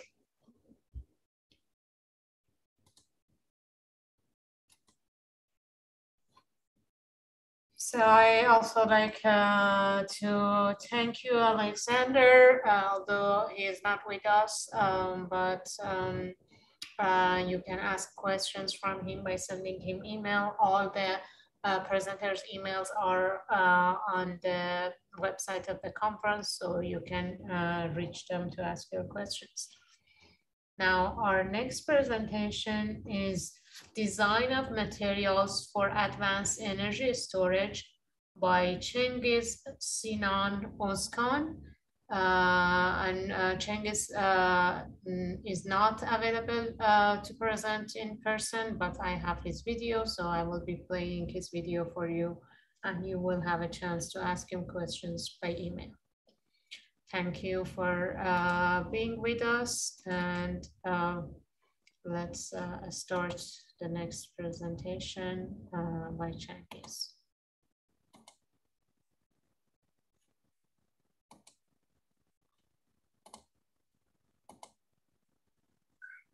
Good morning. My name is Cengiz Özkan. I'm at the University of California, Riverside. Today, I'll talk about materials design for energy storage.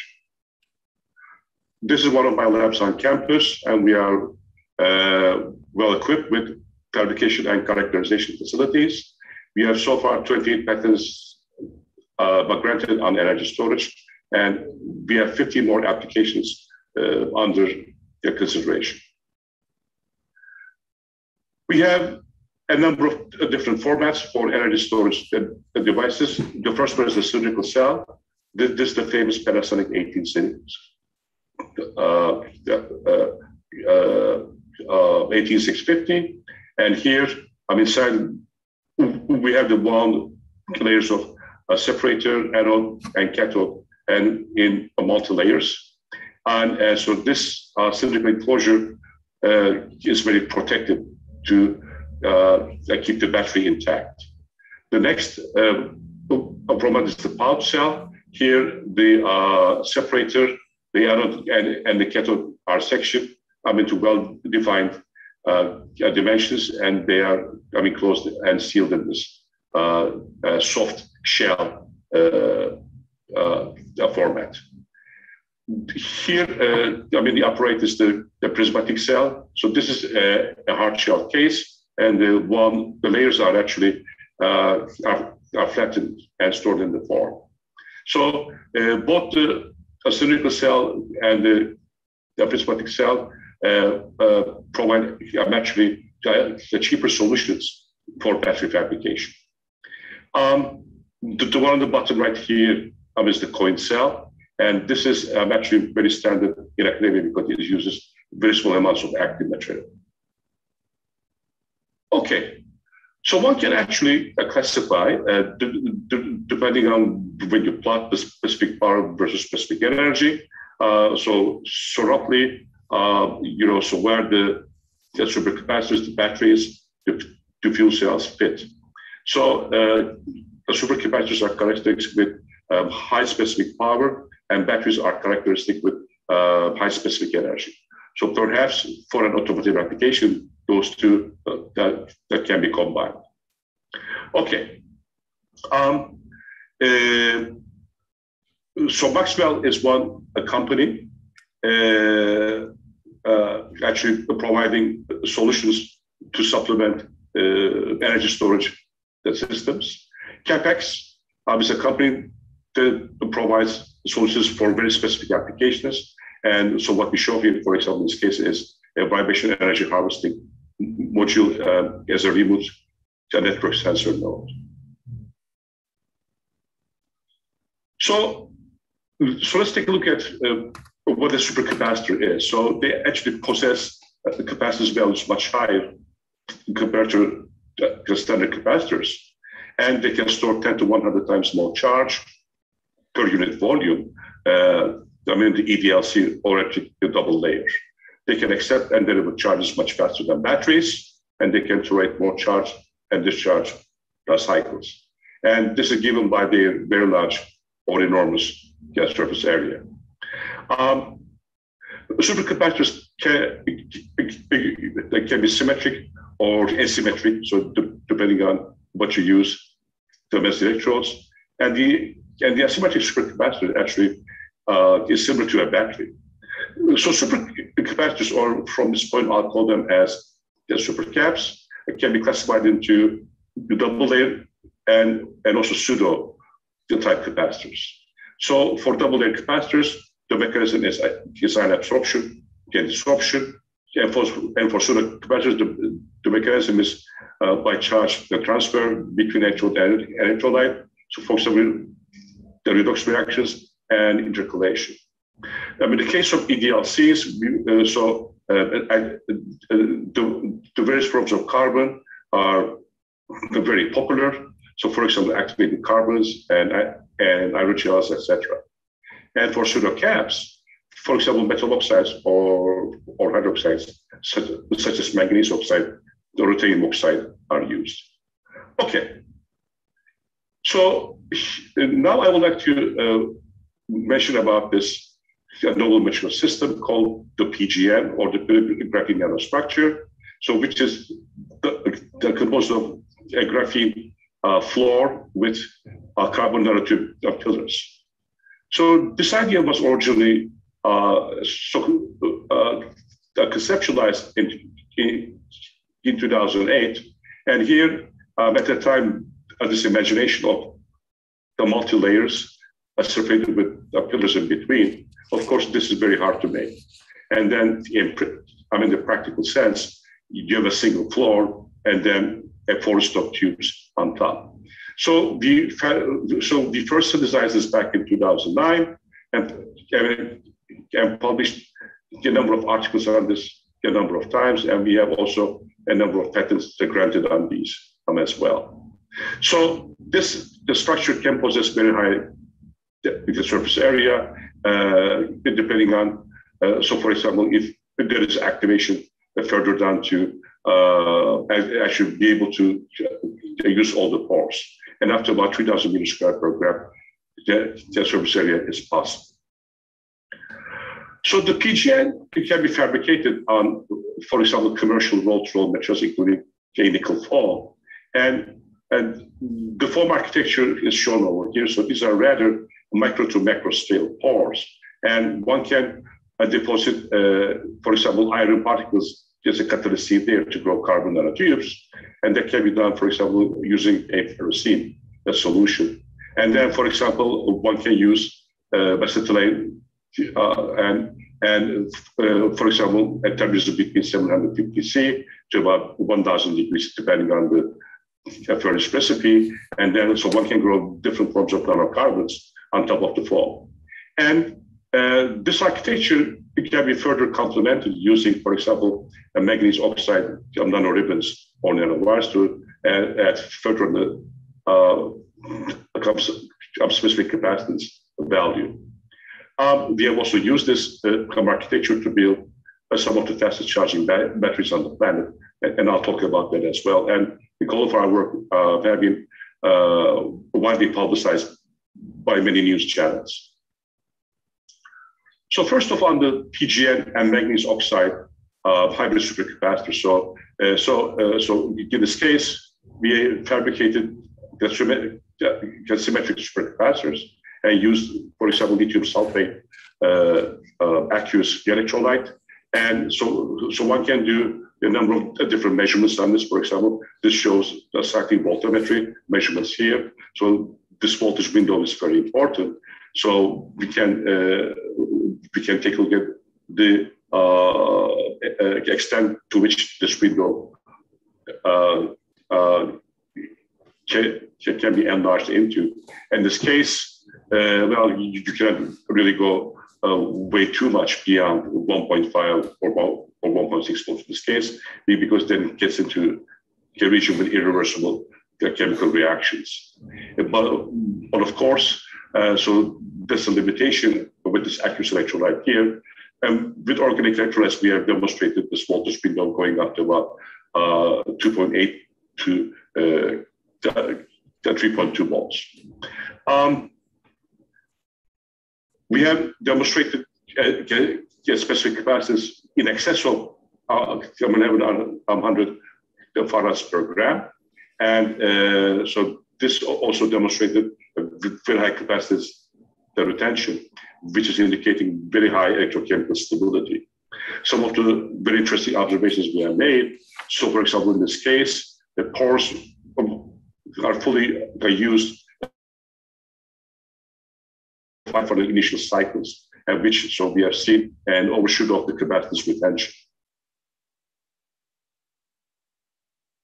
As far as charge storage mechanisms, we have two. So one mechanism, uh, obviously intercalation of metal ions, and uh, in this case, so uh, these are lithium plus ions from the aqueous electrolyte.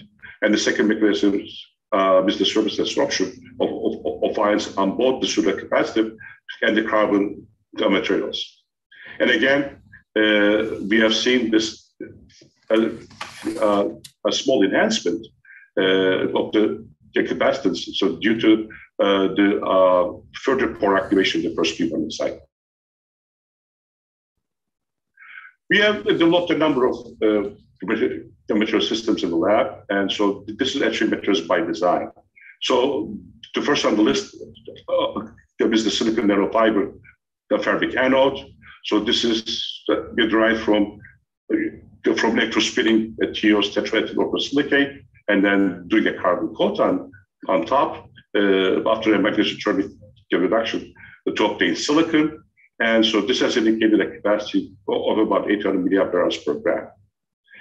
Next on the list is the, the uh, monodispersed silicon carbon composite spheres. This is actually our, our flagship material, and I'll uh, talk about the out cell that we have fabricated from this. So we have we have obtained uh, about 1500 to 1900 milliamp per gram uh, after 500 cycles at uh, C over 2 rate. And by the way, uh, so C rate battery specifies how fast the battery can be charged or discharged. So one C means you charge your battery in one hour, as an example, with yeah, yeah, yeah, one amp current. So, so C over two means you charge your battery in two hours. Two C means you charge your battery in half an hour.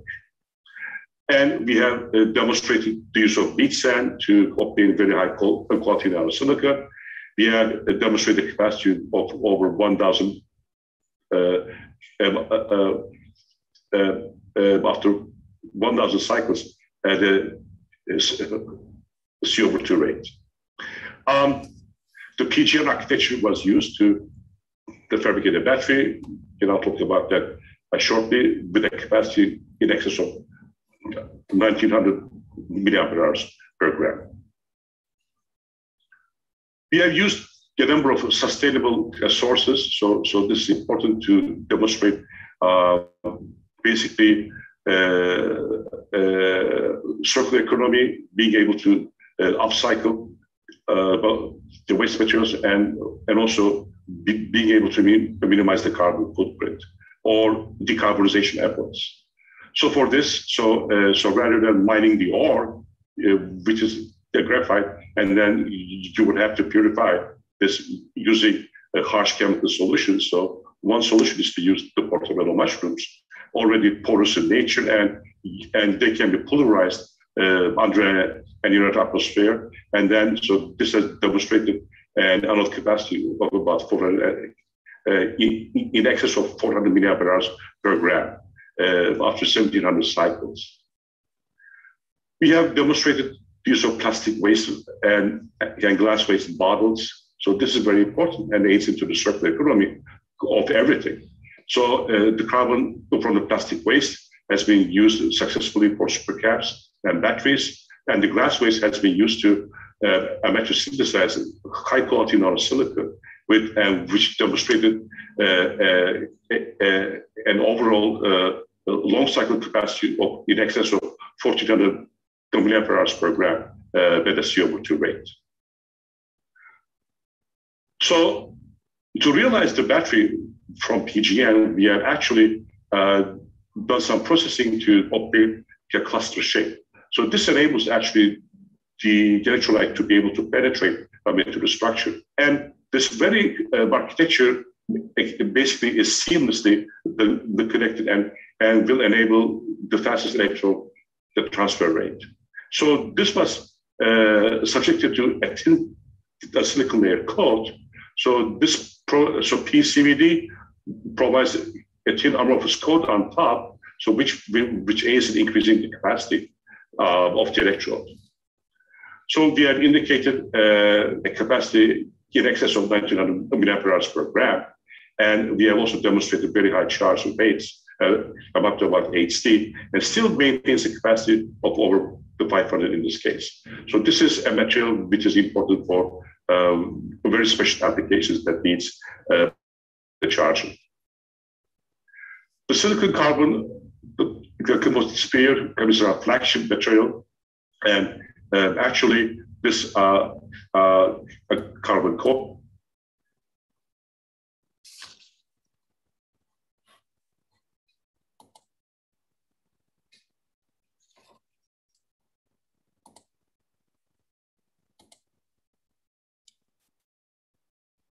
So unfortunately, we have to uh, stop um, Ozkan's uh, presentation because um, uh, we have next presentation scheduled uh, for 6.05 uh, p.m. Um, the presentation is titled Chemically Bonded 3D Porous Network of Black Phosphorus MXenes Enables High and Stable capacitive energy storage.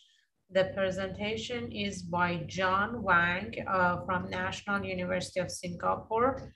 Uh, John is not present in our meeting, but I have his uh, video presentation, so I will be playing his video presentation for you.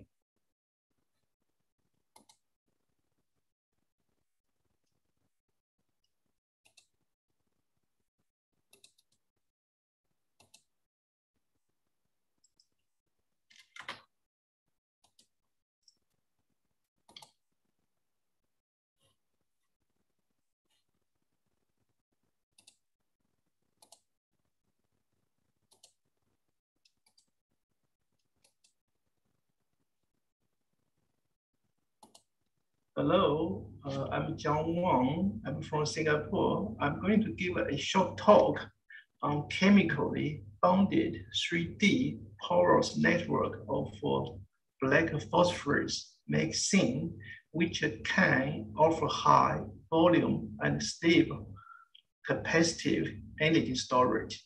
This work has been done mainly.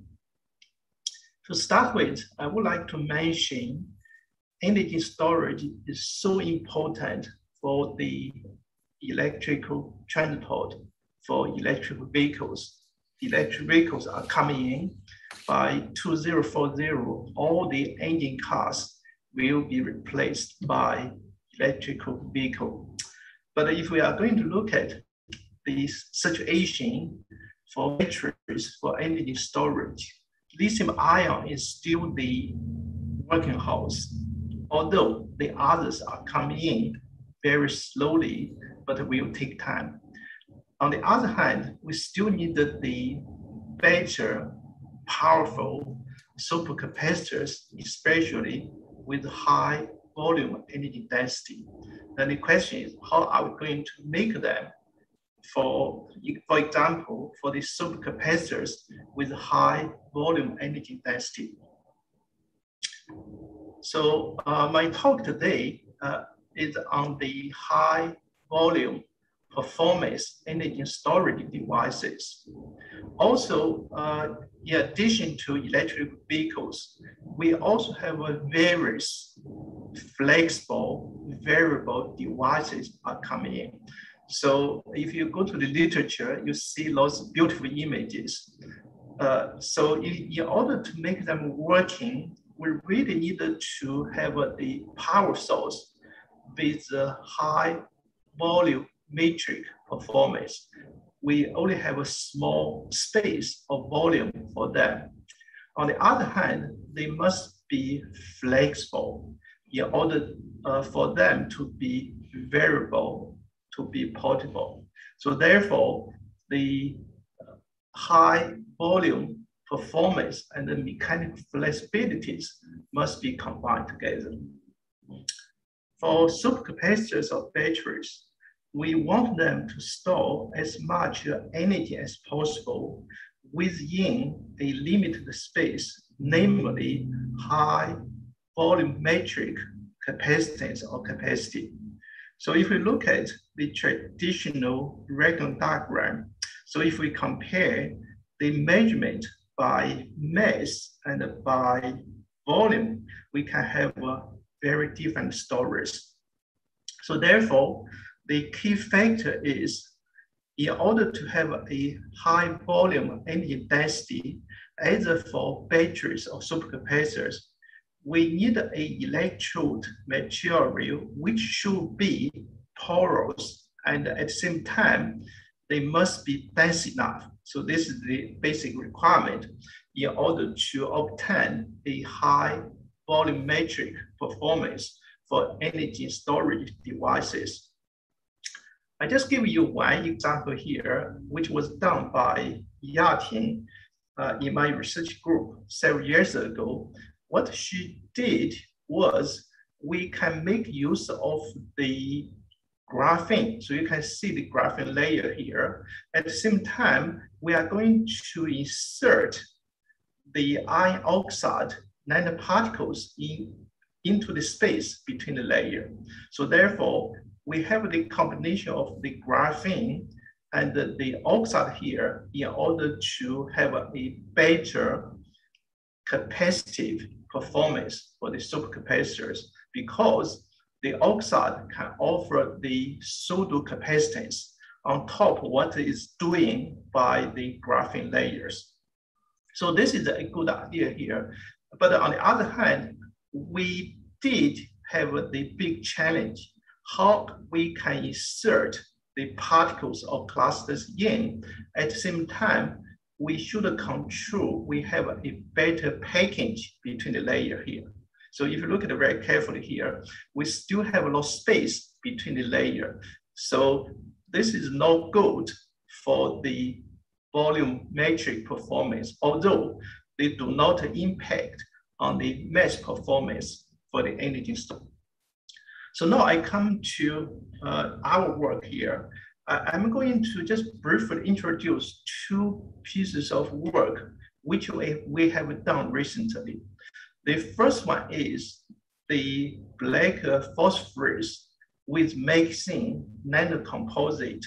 Our idea here is we're not going to use the electrostatic process to bond them together, but we are going to bond them together with some stronger chemical bond in order to make the material to have a better performance approaching the commercial level capacitive energy storage. So the flow chart to make the material is rather straightforward. We have MXene, we do the etching by uh, uh, by hydrochloric acid, we make the crumbled layer of the MXene. Then we are going to glue the black phosphorus face on the surface of the MXene layer here. So in such a way, we can develop a strong bond between the two different layer structures the bonding between them is the metal oxygen phosphorus here. So therefore, if we are going to control the processing condition properly, we are able to form a chemical bond between the two phases here. We have a characterized, you know, such a nanocomposite with a strong chemical bond. So what you can see, you can see the morphology from uh, the SEM image. You can see the layer structure of the MXene. At the same time, you can also see the other phase here. So we have the combination between the two different 2D materials. One is the carbide, the other one is phosphorus. So we can confirm we have both of them. More importantly, we can confirm we have the chemical bonding between the two phases here.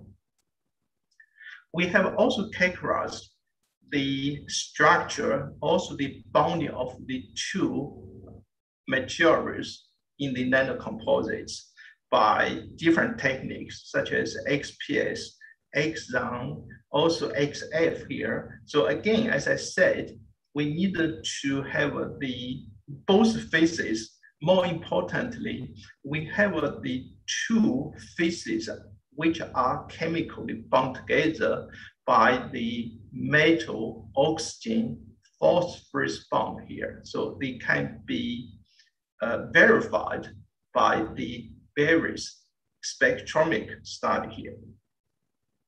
So if we can control the process, the structure properly, we can get a rather high energy density in terms of the volume performance, in terms of the like energy density and power density, if we are going to apply such a nanocomposite into the supercapacitors. So this is a really very encouraging result.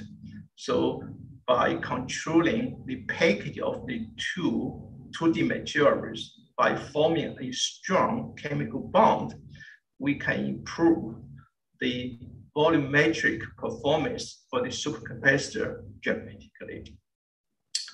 The next work I'm going to mention very quickly is the combination between a 2D material and a 1D material. The idea is we can stitch the 2D materials by the 1D material, such as carbon nanotube, in order to have a stable 2D structure. So if we are going to stitch them together, effectively, we are going to have a 3D structure. So this is our idea. I'm going to show you some results very quickly. We make use of the carbon nanotube fibers we can do the electrochemical activation to change the surface. Then we are going to grow the 2D material, such as the zinc, the vanadium oxide, the 2D nanosheet, together with the carbon nanotube here. So effectively, we are going to form a structure in such a way the 1D carbon nanotubes are going to stitch, are going to hold the 2D zinc vanadium oxide together. So they, you, what you can see, you can verify the such a stitched structure here if we are going to examine them by SEM or TM. We can also verify the phases of the 2D material and also the binding material by different techniques. If we are going to do the measurement, the measurement is much performed, is much improved by the combination of the 1D material and the 2D material. So effectively, if we are going to stitch the 2D materials by the 1D material, we can have a more robust stronger 3D structure in such a way we can improve the performance in the energy storage. So if we are going to make the material as the fiber shaped, uh, like the zinc ion battery, so what you can see, we can improve the performance dramatically if we are going to measure them by different parameters. So if we are going to examine, you know, such a zinc ion battery uh, from the perspectives of different parameters, all the parameters, they are improved by the combination of the 1D and the 2D material. So if I'm going to give you a summary on the second example uh, by stitching the 2D material with 1D material together, we can improve the performance uh, in the zinc ion battery. So we have the open framework structure from the 2D material. We have enough intercalation spacing by the 2D structure. We have a high ionic conductivity. We have a highly stable structure. So at the same time, if we are going to stitch them together, we are going to form a charge conduction Harvey we are going to have a direct electric contact with the substrate to enhance the transport process.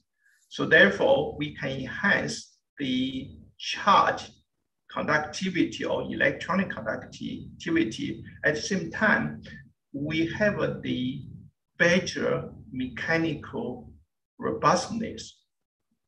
So if we are going to make the fiber shaped battery, we have the flexibility from the fiber shape. We have the conductivity collection by the fibers. We are going to have a fast electron transport or kinetics. So we also have we also have the improvement in the hydrophilicity of the overall structure by combining the 2D materials and 1D material together. So I just give you uh, some of the examples on how we can get high volumetric energy storage. Two examples. One is by the supercapacitor, the other one by the battery. We can make use of the typical molecular 2D materials such as graphene, MXene, we can make them. At the same time, we need to consider how are we going to package them together to form a relatively dense structure. So therefore, we are going to have a high volumetric performance. The same applies the 2D morphological materials. So in order to make them better performing as electrode, in supercapacitors, in batteries, we really needed to consider how are we going to package them together, stitch them together in order to get a high volume performance by the material in the devices.